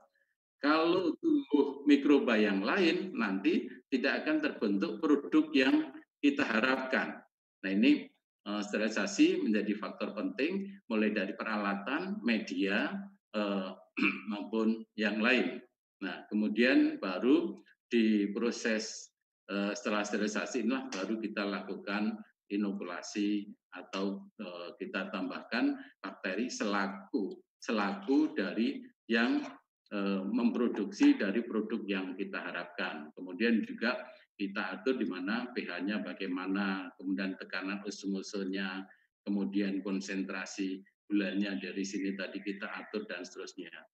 Setelah menjadi, eh, apa kita lakukan eh, fermentasi, nanti akan kita kontrol kondisi proses tersebut, kemudian barulah kita akan unduh atau kita panen berupa brus, kemudian nanti akan dimurnikan ke proses raffinery untuk memperoleh produk yang dihasilkan. Bapak Ibu yang saya hormati, kita akan bahas dulu mengenai eh, media komposisi atau komposisi media. Nah, sebelum melakukan komposisi atau formulasi media, eh, sebaiknya kita mengetahui dari Eh, elemen-elemen dari sel kita. Nah, sel mikroba maksud saya. Nah, ini apa? Dari unsur eh, karbon misalnya. Itu harus berapa persen, kemudian N berapa sehingga eh, nanti akan eh, apa namanya? cocok untuk pertumbuhan perkembang biakan dari mikroba itu sendiri dan juga untuk menghasilkan produk yang diharapkan. Nah, kita tahu bahwa media atau substrat itu nanti akan digunakan untuk pembentukan sel mikroba itu sendiri. Jadi mikroba akan e, berkembang biak, baru nanti akan menghasilkan produk. Nah, ini jadi e, apa namanya? Selain untuk pembentukan sel, juga akan e, digunakan untuk e, pembentukan energi, baik untuk pemeliharaan metabolismenya maupun nanti untuk pembentukan produknya. Nah ini untuk sintetik metabolit atau eh, apa tergantung kalau misalnya eh, tadi untuk eh, sel yang diharapkan seperti misalnya ragi roti, eh, Saccharomyces cerevisiae misalnya, ya tentunya lebih cenderung bagaimana eh, perkembangbiakan dari pembentukan sel itu lebih diutamakan. Nah, untuk substrat atau material untuk fermentasi, kita harus mempertimbangkan kontinuitas dari suplai, baik secara kuantiti maupun secara kualitas. Yang dialami oleh industri yang sekarang itu adalah kenapa dulu misalnya eh, PT Ajinomoto, kemudian PT Miwon, kemudian PT Sasa Inti, kemudian yang muncul berikutnya adalah Jel Jedang, itu berbondong-bondong ke Indonesia. Karena apa?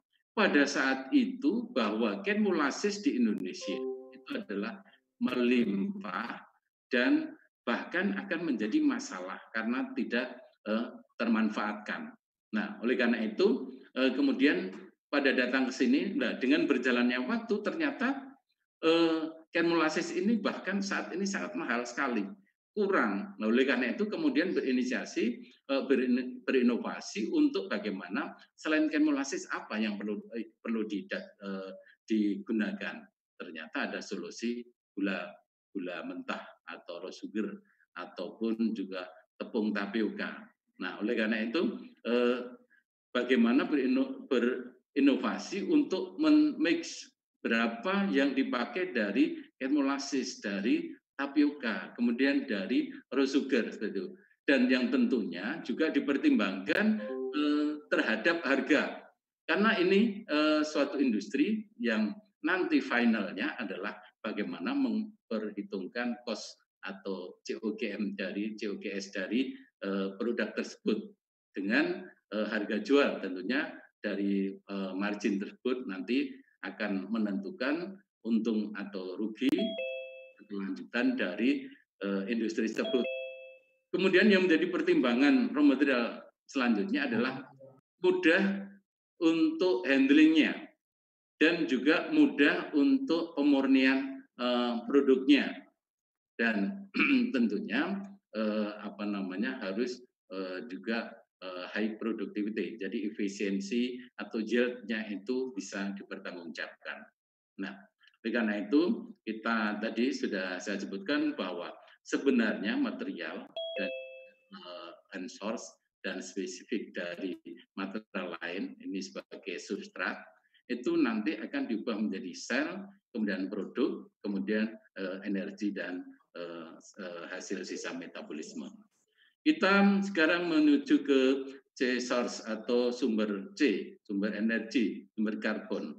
Nah ini kita pertimbangkan tergantung dari prosesnya, apakah aerob atau anaerob. Kemudian pathway dari reaction, apakah melalui Hadner-Dodel pathway (EDP), apakah oksidasi, apakah EMP, Emden Mayor Parnas atau TCA, tricarboxylic acid, sickles, dan uh, atau yang lain.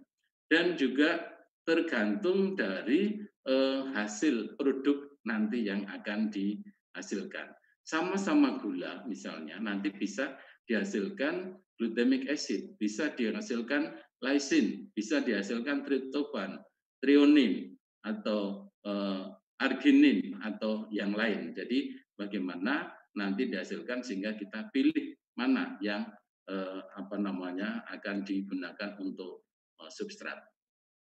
Nah, ini contoh kenmolasis. Nah, kandungannya seperti ini bahwa dia mengandung eh, gula sekitar eh, ini apa namanya 55 persen baik itu berupa sukrus maupun invert sugar. Nah, dan juga di sini ada eh, biotin. Nah, ini yang eh, vitamin H yang sangat diperlukan di dalam uh, pembuatan glutamic acid. Akan mengatur permeabilitas dari dinding sel. Nah, ini. Kemudian uh, tepung, baik itu tepung jagung, tepung tapioka, atau uh, tepung uh, beras, ini sekarang industri kebanyakan juga me, ini memakai selain ken molasses dan juga bit molasses ini import lokal ini juga menggunakan ketiga tepung ini di mana tepung ini harus diubah dulu sebelum digunakan untuk fermentasi itu akan dijadikan uh, dextrose uh, secara enzimatis uh, di pabrik dextrose di Indonesia misalnya juga di Surini dan juga di Jeljedang sendiri itu juga ada pabrik dextrose dari pengolahan tepung tapioka eh, menjadi dextrose yang nanti digunakan untuk proses fermentasi. Kalau di luar negeri misalnya eh, juga ada W dari susu eh, dengan komponen terbesarnya adalah gula laktus. Nah, ini saya berikan gambaran bahwa bahan baku itu sebenarnya tidak siap dipakai sebelum ada suatu perlakuan. Contohnya adalah perlakuan untuk bagaimana kenmolasis atau tetes tebu eh, menjadi material yang yang bisa dipakai oleh industri khususnya di industri asam glutamat, asam aminoglutamat. Nah ini di sana di tetes tebu itu harus ada proses dikalsifikasi atau penghilangan kalsium dari tetes tebu tersebut. Karena apa? Kalau ada kalsium itu nanti akan mengganggu hasil dari kristal glutamic acid. Oleh karena itu harus dilakukan dekalsifikasi. Nah, ini intinya bahwa di sini adalah ada penambahan ini asam sulfat sehingga kalsium akan ini akan diikat oleh sulfat sehingga menjadi kalsium sulfat atau yang disebut dengan gipsum. Nah, ini nanti bisa dimanfaatkan. Ini prosesnya semacam ini. Jadi harus ada asam sulfat juga dikasih steam dan juga diencerkan sampai nanti menjadi apa CM terolah atau treated can molasses atau TCM menjadi seperti itu. Seorang tuanya. Bapak Ibu yang saya hormati, untuk di luar negeri misalnya bisa digunakan barley. Uh, itu adalah uh, bisa dari malt atau dari malt extract. Nah, ini kondisinya untuk gulanya adalah uh, kebanyakan adalah dari uh, gula jenis maltose. Atau bisa digunakan juga dari uh, limbah uh, kayu atau kertas dari pulp kertas. Uh, kayu menjadi pulp kertas, kemudian nanti eh, bisa menghasilkan SWL, sulfit waste liquor, eh, yang gula terbanyak dari SWL adalah manose dan silose, juga ada glukos. Dan juga untuk pemanfaatan dari sisa-sisa dari pengolahan minyak itu sebenarnya mikroba yang mampu menggunakan eh, material ini yaitu yang eh, dalam eh, misalnya parafin hidrokarbon CN2N plus 2 eh, yaitu C10 sampai 18 ini dari mikroba masih mampu menguraikan untuk sebagai sumber karbonnya. Bapak Ibu yang saya hormati, selain end source, kita juga ada harus ditambahkan dalam meramu atau memformulasi substrat ada harus ada end source baik organik misalnya dari soybean meal, fish extract maupun yeast extract dan juga ada N dari anorganik misalnya amonium nitroksida atau amonia NH3. Eh, nah ini jumlah dari ini harus diberikan eh, dari jumlah sel eh, komposisi atau komposisi dari sel tadi yang awal sudah kami tampilkan, ataupun juga produk yang dihasilkan. Biasanya mikroba itu rasionya berapa, nanti akan menghasilkan produk yang seperti apa, seperti itu. Dan juga vitamin, vitamin ya, jadi eh, biasanya merupakan ingredient, ingredient dari end source dan juga mineral. Ini biasanya sudah eh, terikut sebagai impurities dari raw material dan uh, oksigen tentunya dalam pemberian oksigen yang harus memperhatikan uh, sifat reologi dari media tersebut kemudian juga uh, mikroba types-nya apakah aerob, mikroaerob dan apakah menggunakan antipom atau tanpa antipom ini nanti uh, berpengaruh terhadap kelarutan dari oksigen. Untuk fermentasi tertentu itu menggunakan prekursor. Misalnya pada produksi penisilin ini menggunakan penil asetik dan untuk pada fermentasi asam sitrat itu menggunakan mohon maaf Pak Kusno uh. Mohon maaf Pak Kusno. Baik. Waktunya kurang lima menit. Oh ya, akan saya percepat. J, terima kasih.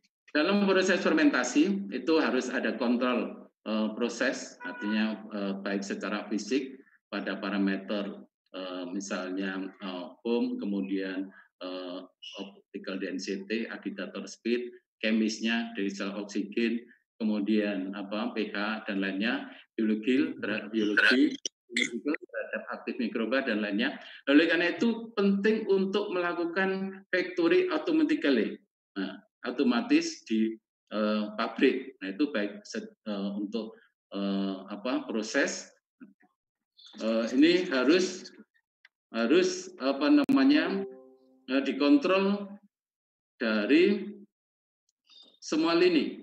Nah, saat ini penting untuk melakukan kontrol misalnya di eh, bagaimana kontrol di main fermentor, kemudian kontrol di eh, seed fermentor. Kemudian masing-masing ini eh, dari komputer di meja room control kita sudah bisa bagaimana pH-nya, bagaimana eh, inletnya dikontrol eh, berapa untuk debitnya dan lain-lainnya, kemudian kapan harus dihentikan fermentasinya. Ini semuanya bisa dikontrol dari eh, komputer eh, apabila sudah melakukan ini apa automatical dari pabrik tersebut. Nah, untuk produk recovery dan pemurnian, jadi eh, harus bagaimana produk yang akan diambil itu apakah berupa biomasnya metabolitnya atau enzim atau yang lain. Nah ini kita harus uh, melakukan pemurnian. Nah ini untuk mempermudahnya kita harus uh, memilih kondisi bagaimana uh, untuk metabolit ataupun hasil dari fermentasi ini kita lakukan pengunduhan. Nah ini uh, contohnya uh, apa namanya berbagai macam dari mikroba itu bisa dihasilkan uh, dari single cell proteinnya, dari sel substansinya, dari metabolitnya, atau filtratnya, atau tadi eh, produk bersama makanannya. Nah, ini ada beberapa tahapan eh, untuk bagaimana si nanti produk bisa diambil. Nah, ini misalnya harus dilakukan dengan ion exchanger. Nah, ini intinya bahwa misalnya produk lysin itu harus diikat dengan ion exchanger dan kondisinya harus diasamkan dulu sampai pH tertentu, kemudian terikat produknya, kemudian setelah itu ada elosi, artinya pH akan diubah menjadi naik lagi, kemudian e, nanti akan baru bisa terambil. Nah, kemudian pada saat itu harus juga dikristalkan bagaimana untuk melakukan eh, menginduksi bagaimana kristal terbentuk. Nah, secara teorikal eh, bagaimana pH tertentu bagaimana kemudian dilakukan seeding sehingga nanti akan terbentuk kristal yang uh, signifikan sehingga bisa dilakukan pengunduhan dan pemurnian. Nah ini uh, untuk yang triptofan kondisinya seperti ini.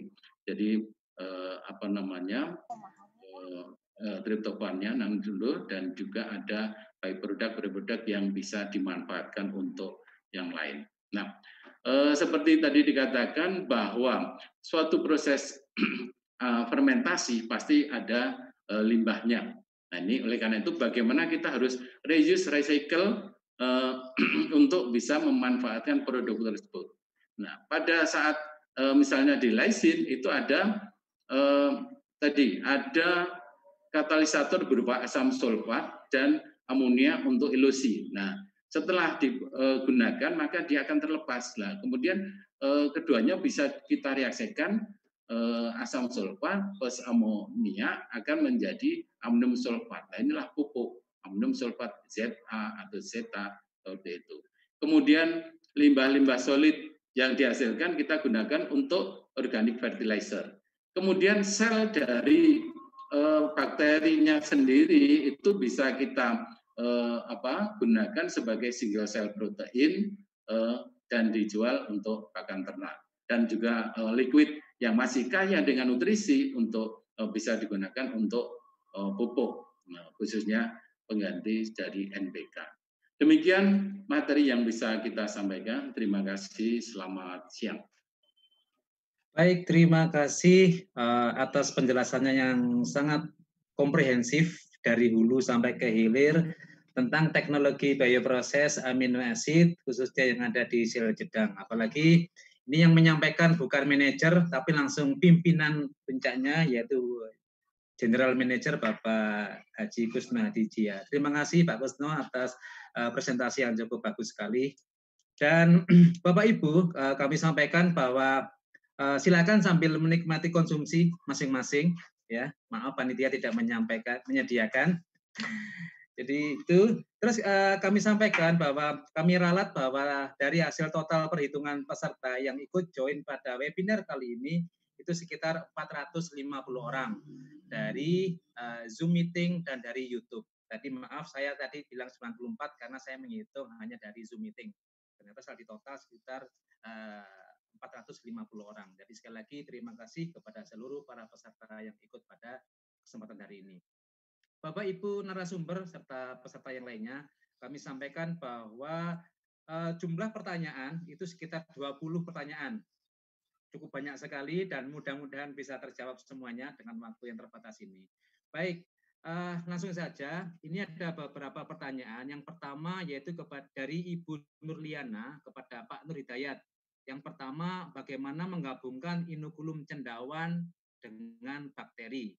Itu yang pertama. Dan yang kedua, dari Ibu Andi Mariam kepada Pak Nur Hidayat, bagaimana mengolah limbah cair tahu atau W agar tidak menjadi permasalahan bagi lingkungan. Kebetulan saya melakukan PKM mengolah nata dan soya dengan memanfaatkan W sebagai bahan baku. Oke. Pak Nur mohon untuk dijawab dengan jelas dan singkat. Monggo.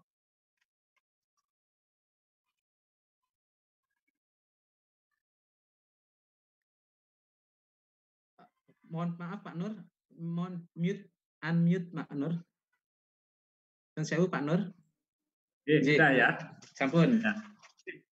Uh, tadi sebetulnya pertanyaan yang pertama ini Putri saya sudah menjelaskan cukup jelas bahkan uh, sampai kepada ada organisasinya bagaimana yang penting sebetulnya di dalam penggabungan inokulum ya, jamur dan bakteri itu adalah hifa atau spora jamur atau sel vegetatif atau spora bakteri itu bisa diadakan bersama-sama. Yang paling mudah biasanya dalam bentuk tepung. Nah, nah, permasalahannya bagaimana kita menjaga kondisi.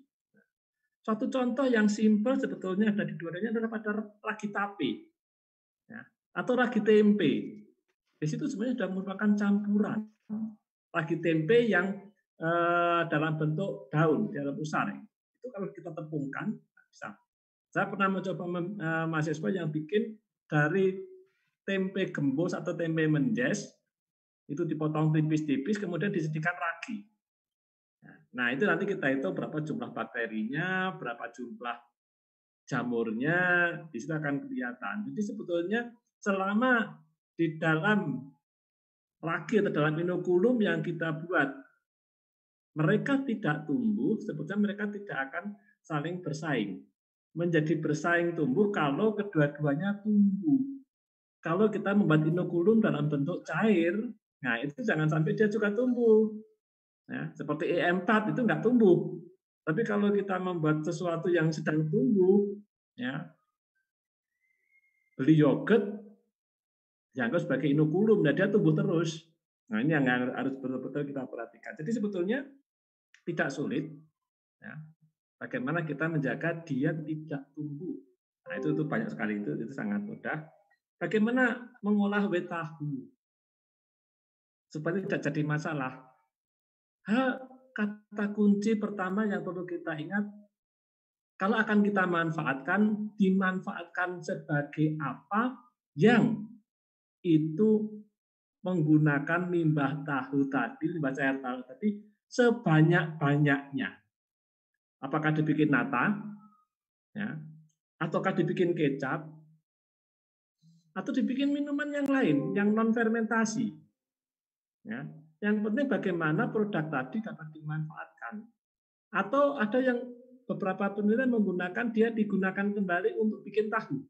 Nah, tentunya dengan sedikit proses tambahan ya, sehingga dia dapat dimanfaatkan kembali sehingga nanti limbah tahunya akan berkurang. Ini ini sebenarnya sangat mudah, sangat eh, beberapa penelitian dapat dilakukan kalau akan menggunakan itu untuk membuat tahu kembali. Kan sudah ada asamnya, tinggal bagaimana namanya. Cuman bagaimana beberapa senyawa yang tidak diharapkan yang terikut ketika kita mengadakan proses penjenalan tahu tadi, penjenalan proteinnya, itu dapat kita hilangkan sehingga dapat kita gunakan kembali.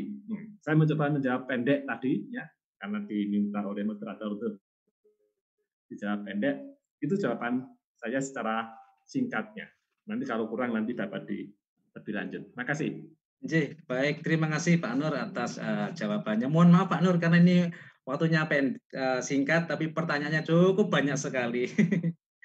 baik, untuk uh, pertanyaan yang berikutnya yaitu ini dari Bapak Satria BA Prodi D4 Pengembangan Produk Agroindustri kepada Prof Endang atau Pak Nur.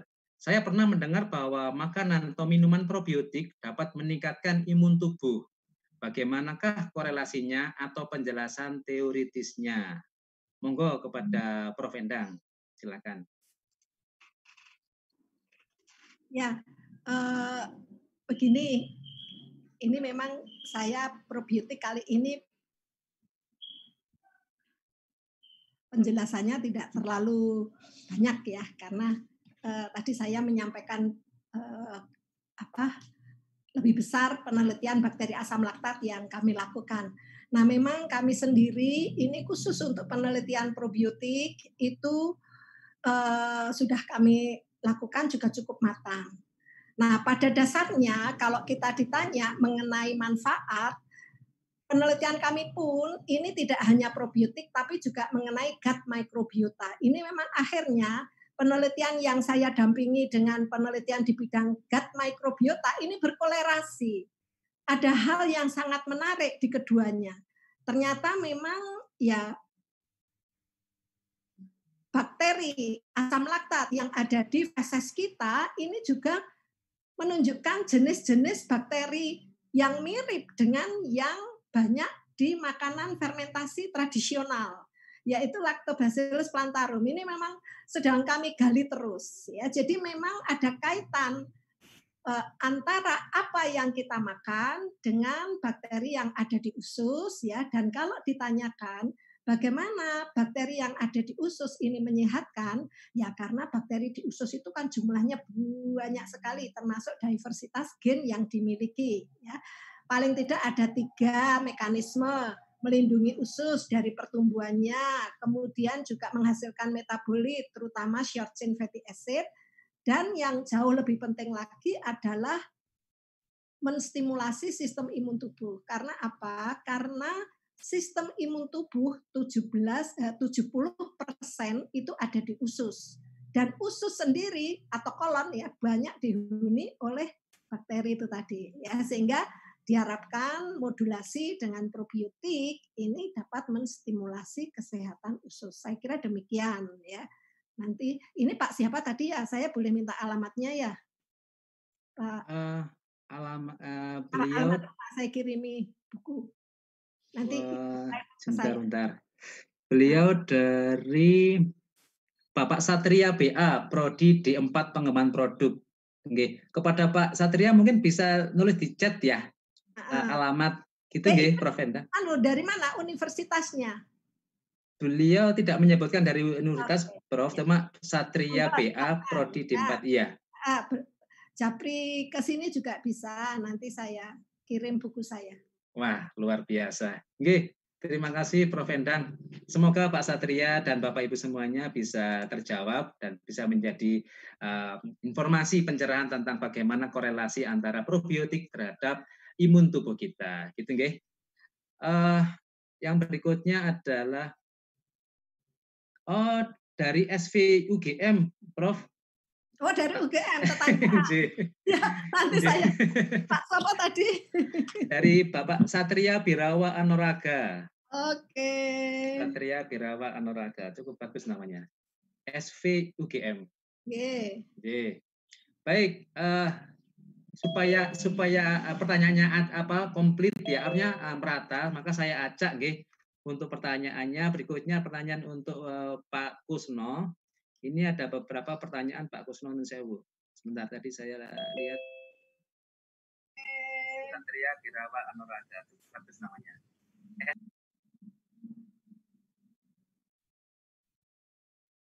Oh, maaf maaf sebentar.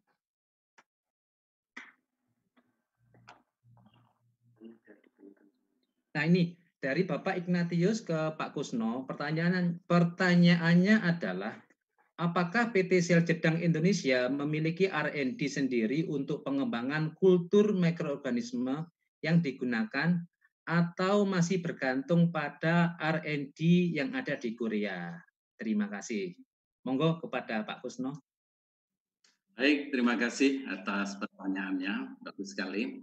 Jadi eh, sistem R&D di tempat kami itu adalah bahwa ada R&D eh, lokal atau RTC Regional Technical Center dan juga ada R&D di eh, pusat di Korea.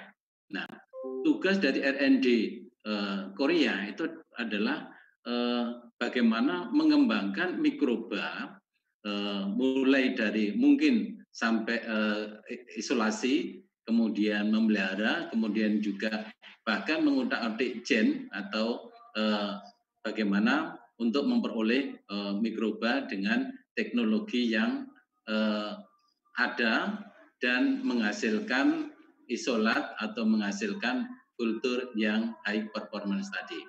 Nah, untuk di RTC yang ada di Indonesia itu tugasnya adalah memelihara dan menyiapkan serta menguji coba kemampuan dari mikroba tersebut untuk diaplikasikan di pabrik seperti itu. Jadi ada tugas masing-masing itu R&D lokal maupun R&D di uh, pusat di Korea. Begitu Pak. Ji, baik terima kasih Pak Kusna atas uh, jawabannya. Mudah-mudahan bisa menjawab kepada penanya. Baik, selanjutnya eh, pertanyaan yang ditujukan kepada Prof. Endang. Ini berasal dari Pak Musa Abu dari link YouTube. Eh, mau tanya Bu Prof, saya lagi memproduksi minuman berbahan baku daun bidara dengan modifikasi yang buahnya rasanya asam, manis sehari. Setelah sehari sudah berubah rasa. Apakah ada pengawetnya? Dan pertanyaan kedua, apakah produk dari mikrobiologi atau probiotik bisa dipadukan dengan metode nanoteknologi? Itu yang pertama. Yang kedua juga kepada Prof. Endang. Apakah ada bahan pengawet alami dari mikrobiologi atau yang lain yang aman? Terima kasih. Monggo, Prof. Endang. Ya, tadi produknya difermentasi terus menjadi asam begitu ya? Oke, sepertinya begitu. Iya, jadi ya ya begini, fermentasi probiotik atau begini, fermentasi dengan bakteri asam laktat seperti yogurt isti, uh, paling mudah ya sebagai contoh itu begitu bakteri itu sudah melakukan proses fermentasi dengan maksimal ya harus segera dihentikan metabolismenya dengan cara disimpan pada suhu dingin. Itu suhu dingin ini memang wajib untuk menyimpan fermentasi-fermentasi yang mikrobianya itu masih aktif. Ya termasuk tempe. Tempe itu kalau di luar terus ya jadi tempe bosok. Jadi cara penyimpanannya itu disimpan dalam suhu dingin.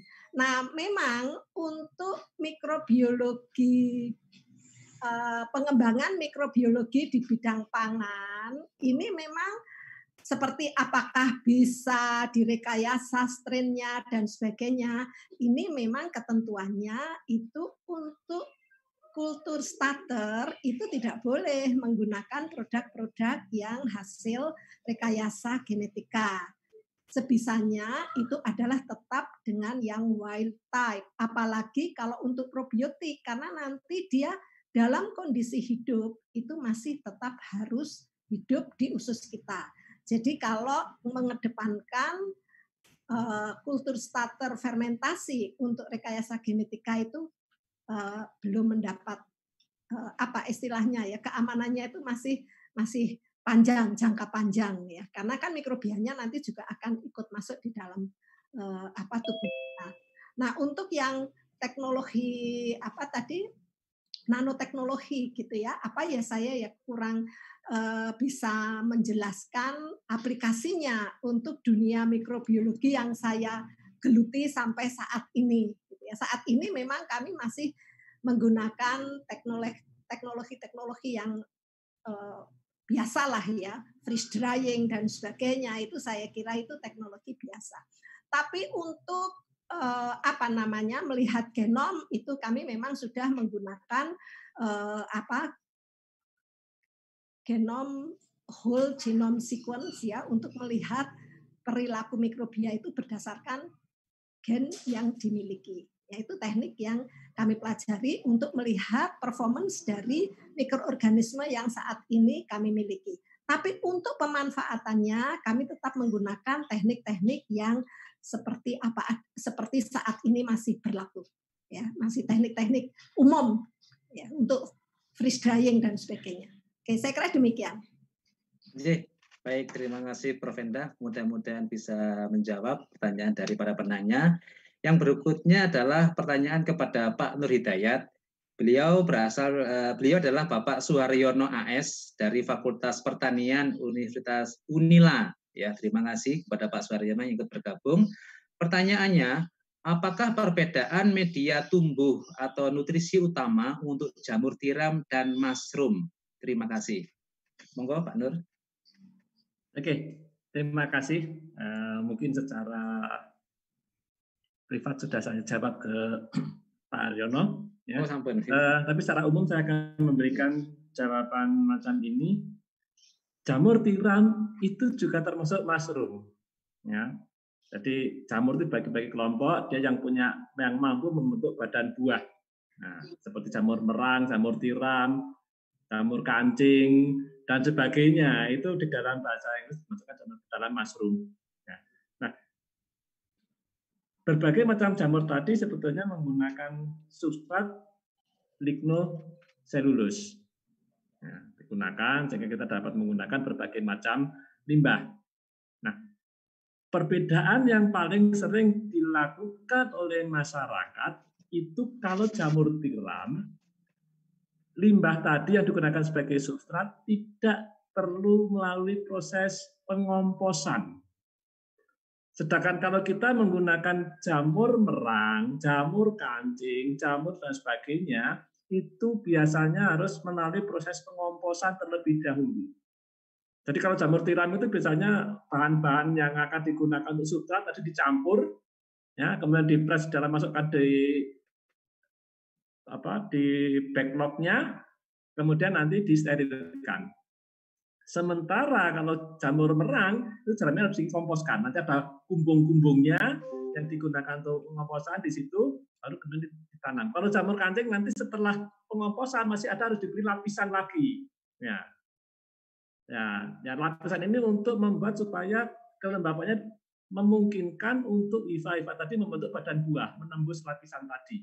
Ya, yang dia dapat menjaga eh, kadar airnya, menjaga kelembabannya sehingga dia dapat tumbuh. Jadi masing-masing memang ada suatu karakter-karakter sendiri, ya. Sehingga kalau kita menanam jamur kancing itu kalau kita lihat di situ akan ditambahkan uh, lapisan tanah gambut, ya, sebagai mulsanya.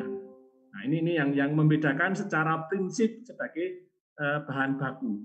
Itu saja mungkin jawabannya secara singkat. Pengomposan dan tidak pengomposan. Terima kasih. J, terima kasih Pak Andri Dayat. Mudah-mudahan bisa jelas dan bisa menjawab. Uh, berikutnya ini ada pertanyaan buat ke buat Bapak Kusno dari Pak Kianto dari Universitas Atmajaya Yogyakarta. Bagaimana memelihara biakan atau inubulum untuk membuat MSG dan dapat berapa banyak dari Korea setiap tahunnya? Itu yang pertama. Yang kedua, pertanyaan juga ke Pak Kusno dari uh, Ibu Paulis Budi Hastuti, apakah byproduct dari kelapa sawit sudah banyak dimanfaatkan di PT Sel Jeddah? Monggo Pak Kusno. Baik, terima kasih. Yang pertama pertanyaannya adalah eh, bagaimana menyimpan kultur biakan uh, untuk proses uh, fermentasi MSG gitu ya Pak. Langsung bahwa uh, proses penyimpanan yang uh, khususnya yang ada di kami ya itu adalah uh, dengan suhu dingin seperti yang dikatakan oleh Bu Trisya tadi uh, kita simpan di uh, suhu dingin. Nah ini kemudian uh, nanti pada saat mau dipakai tentunya dari kultur uh, agar miring atau juga yang lain. kemudian baru kita hidupkan di kultivasi berikutnya, mulai dari Lermeyer, kemudian dari pada saat nanti gunakan nanti akan menjadi di tingkat berapa liter, berapa liter, kemudian di seeding dan seterusnya. Jadi kita tidak dengan teknologi yang yang canggih, jadi yang biasa saja dengan suhu dingin. Kemudian berapa dari eh, Korea kirimannya itu tergantung, semuanya tergantung. Jadi tidak tentu karena apabila eh, masih baik dan masih eh, bisa dilanjutkan, namanya juga inokulum satu ose saja sudah bisa dikembangkan untuk eh, berapa banyak. Gitu. Jadi tidak tidak mesti untuk berapa kuantiti yang dikirim dari pusat. Kemudian yang kedua jawaban dari Bu Paulis bahwa eh, selama ini kita bahan baku belum pernah menggunakan dari eh, eh proses atau limbah eh, pengolahan kelapa sawit. Jadi sumber C khususnya ya yang kita gunakan itu adalah dari eh, raw sugar atau gula mentah, kemudian dari ken molasses, dari beet molasses, kemudian dari tepung tapioka dan tepung jagung. Jadi kita sumber nya adalah itu. Kenapa kita eh, kebanyakan eh, masih impor karena di dalam negeri eh, tidak cukup eh, dari kebutuhan kita. Jadi eh, ada juga yang lokal, misalnya dulu tepung tapioka itu kita membeli dari Lampung, bahkan kita dulu pernah mendirikan pabrik di sana juga. Eh, namun bahan bakunya akhirnya kurang dan akhirnya kita uh, impor baik itu dari Thailand maupun sugar juga dari Brasil atau dari Austria, Australia maupun dari Thailand seperti itu. Jadi untuk limbah kelapa sawit kita belum belum pakai itu. Terima kasih. J, baik terima kasih Pak Kusno. Uh, kalau isolat dari Korea itu nanti apakah juga seperti opa-opa gitu Pak ya? Tapi ini maaf ini jawaban ini biar nggak nggak tegang. Nah, kan maaf kan sekarang lagi tren drama Korea drakor ya nanti jadi ada pertanyaan isolatnya apakah seperti opa-opa gitu ya atau seperti cantik artis Korea ini tapi ini maaf Pak ini iya, iya. ya, intermiso Pak Kusno intermiso J uh, J baik berikutnya ini ada pertanyaan. Uh, bukan pertanyaan tentang drama Korea ya tapi pertanyaan dari oke okay, kepada Prof. Endang. Nyun ngapunten Prof. Endang. Ini dari Bapak Ruli Adi Nugroho. Sudah banyak penelitian tentang potensi isolat dalam pangan fermentasi. Tetapi sebagian besar hanya berhenti sebagai isolat yang potensial karena aktivitasnya yang masih lebih rendah dibandingkan isolat standar, import atau yang komersil. Kemudian bagaimana tanggapan dari Prof. Endang? Monggo, Prof. Ya, ya mari kita maju bersama. ya, saya butuh berapa tidak hanya tahunan tapi puluhan tahun untuk bisa memasarkan isolat yang kami miliki. Dan kami terbuka, kami mempunyai fasilitas untuk menyimpan isolat, tetapi saya sarankan ke Inasisi kalau mau membuat powder-powder isolat untuk bisa dimanfaatkan lebih banyak, ya itu juga kami bisa bersedia diajak kerjasama. Kalau mau memproduksi yogurt, silahkan Eh, kontak FNCC, kami menyediakan kulturnya dan kultur yang kami produksi itu sudah mendapatkan sertifikat halal. Kami sampai sampai mencari sertifikat halal supaya isolat kami itu juga bisa masuk ke industri. Nah, memang kerjasama dengan industri itu tidak mudah, ya. Industri lebih mudah mungkin tinggal import saja, Nah, tetapi peneliti juga harus tidak boleh kalah gesit ya. Kita tetap harus ini apa namanya uh, yang ngajak mereka untuk bekerja sama. Ya. Jadi saya kira ya demikian ya kita harus tangguh ya tidak mudah tetapi tetap uh, bersemangat ya. Yang kami lakukan industri besar itu sulit masuk ya. Kami kerjasama dengan industri-industri besar ya Sanbe, Kalbe, tetapi UKM itu lebih welcome ya. Ya, mungkin tinggal tunggu mainnya saja. Semoga nanti bersama-sama dengan Pak Nur Hidayat ini kita bisa memajukan dunia mikrobiologi di Indonesia yang katanya kaya raya. Demikian jawaban saya. Ji, amin amin. Terima kasih Prof Endang. Berarti kita harus lebih semangat dan lebih cemungut gitu ya kalau bahasa anak gaulnya ya dan lebih semangat, banyak menginformasikan hasil penelitian ya. Kalau tidak kita promosikan sendiri, siapa yang mau mempromosikan kita? Ini kesempatan ini Pak Nur Hidayat mempromosikan saya. Terima kasih Pak Nur Hidayat. Ji, sami-sami Pak. Terima kasih Pak Nur dan juga Bu Endang dan Pak Kusmo. Berarti kita harus gambati kudasa ya, Bu Prof. Ji, Baik, uh, karena waktu sudah menunjukkan jam 12.02, ini sebenarnya pinginnya sih sampai sore ya, sampai semua pertanyaan terjawab semua ya, karena begitu menariknya, karena ada para pakar, para peneliti, dan juga Pak Kusno selaku General Manager ya, tidak mudah untuk mendatangkan seorang General Manager dari sebuah perusahaan besar, kolaborasi dari Korea Selatan dan dari Indonesia untuk bisa memberikan materi yang mahal harganya sebenarnya ini ya.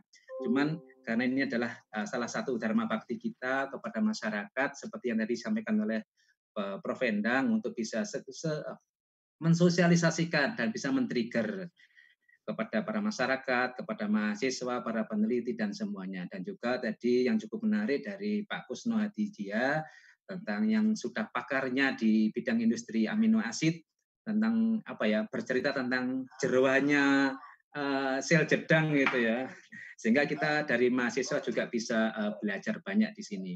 Baik Bapak Ibu narasumber kepada Bapak Nur Hidayat kepada Prof. Endang Rahayu dan Bapak Kusnadijia sekali lagi kami mengucapkan terima kasih atas ilmu yang dan sharingnya pada pagi hari ini sampai siang hari ini sangat bermanfaat bagi kita bagi para dosen, para mahasiswa, para peneliti dan juga bagi masyarakat dan juga eh, industriawan dan juga eh, dari dinas-dinas yang terkait. Mudah-mudahan apa yang disampaikan oleh para pembicara, Prof. Endang, Pak Kusnadijia, dan Pak Nur bisa menginspirasi, bisa menyemangati bagi kita semuanya. Dan yang kedua adalah lebih banyak bersyukur kepada Tuhan Yang Maha Kuasa karena telah memberikan rahmat sehingga dengan uh, mikroorganisme yang sangat kecil tapi manfaatnya sangat luar biasa bagi kehidupan manusia uh, pada saat ini. Saya kira itu saja dari kami dan kami terima kasih kepada para peserta yang hampir 4.500 ya. Eh maaf 450 sekian ya. Ya cukup mimpi kami bisa mengadakan webinar sampai 10.000 uh, peserta Prof. Gitu ya ya mohon nanti bisa suatu saat bisa bisa bisa terlaksana ya sehingga kita tadi bisa mengangkat uh, kekayaan dan keberkahan dari Indonesia Raya ini supaya bisa maju supaya kita tidak hanya sebagai pasar tapi juga sebagai pemain produsen di dunia internasional apalagi dengan kondisi Covid seperti ini itu tidak uh, semakin menyurutkan semangat kita malah lebih banyak uh, harus lebih semangat lebih cemungut dan lebih gembati kudasai gitu ya untuk memajukan eh, dunia sesuai dengan profesi dan bidang kita masing-masing. Baik, sebelum saya tutup, mohon ini ada dokumentasi, cuman karena jaga jarak, mohon untuk bisa di, dinyalakan ya apa namanya videonya, Bapak Ibu semuanya, karena kita mau mengambil dokumentasi oleh panitia. Ya, monggo Bapak Ibu semuanya untuk menyalakan videonya. Mohon foto, maaf ya. Yogi. Oke, foto betul. Ya, kepada ya terima kasih Pak Dekan yang sudah memfasilitasi. Baik, kepada para panitia, Bapak Ibu narasumber dan para semua peserta, mohon maaf untuk bisa menyalakan uh, videonya. Ya, videonya saja. jangan jangan mikrofonnya. Baik ya. Baik, pasang senyum manis ya, walaupun kondisi social distancing di rumah saja, tapi harus tetap semangat dan tetap bahagia. Bukan begitu Pak Dekan? Betul, siap, semangat. Oke, baik ya. Putrisa, Baik, saya kasih uh, kode, oke. Satu, dua, tiga. Oke, baik. Yang slide yang berikutnya Wah, ini lebih banyak ini ya. Sebentar. Saya kasih kode. Satu, dua, tiga. Senyum, senyum. Ya. Baik, kemudian yang slide ketiga. Baik. Satu, dua, tiga. Oke. Baik, Bapak Ibu, para peserta, para pimpinan Fakultas Teknologi Pertanian Universitas Brawijaya dan para pimpinan jurusan Teknologi Industri Pertanian Brawijaya yang sebagai salah satu penyelenggara acara webinar nasional ini, kami mengucapkan terima kasih dan kepada para panitia dan kepada para narasumber atas uh, kerja keras dari kita semuanya sehingga bisa berjalan dengan baik. Saya selaku moderator untuk webinar ini jika ada kesalahan dalam tutur kata, saya mohon maaf yang sebesar-besarnya. Dan sebelum uh, webinar yang kedua ini saya tutup, saya mau ngasih pantun. Pergi jauh menuju Jogja, boleh juga kita sekalian mandi. Semoga COVID segera sirna, insya Allah kita bisa bertemu kembali.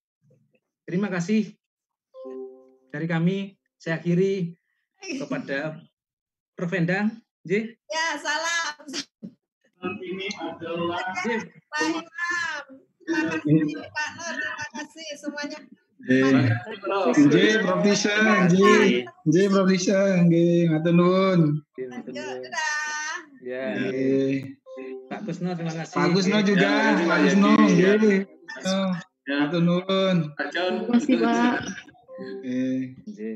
Baik, Pak Nur saya terima kasih. Nggih. Baik, saya tutup. Wabillahi taufik walidayah. Wassalamualaikum warahmatullahi wabarakatuh. Waalaikumsalam warahmatullahi wabarakatuh. Bu, pada para peserta, uh, untuk materi hari ini dapat Bapak Ibu download melalui website jurusan kami di tip.ub.ac.id dan juga akan kami email ke Bapak Ibu. Kemudian untuk uh, sertifikat dan juga materi, ini nanti juga akan kami kirimkan ke email Bapak Ibu sesuai dengan email yang sudah Bapak Ibu isikan pada link uh, presensi yang sudah kami sampaikan tadi. Sekedar, uh, sekedar informasi juga Bapak Ibu bahwa kami dari TIPUB masih akan tetap melaksanakan webinar selanjutnya jadi uh, kami harap Bapak Ibu di lain kesempatan bisa bergabung lagi dengan kami. Akhir kata kami dari uh, panitia mohon maaf uh, jika dalam pelaksanaan webinar ini mungkin masih ada beberapa kesalahan. Terima kasih sekian dari kami. Wassalamualaikum warahmatullahi wabarakatuh.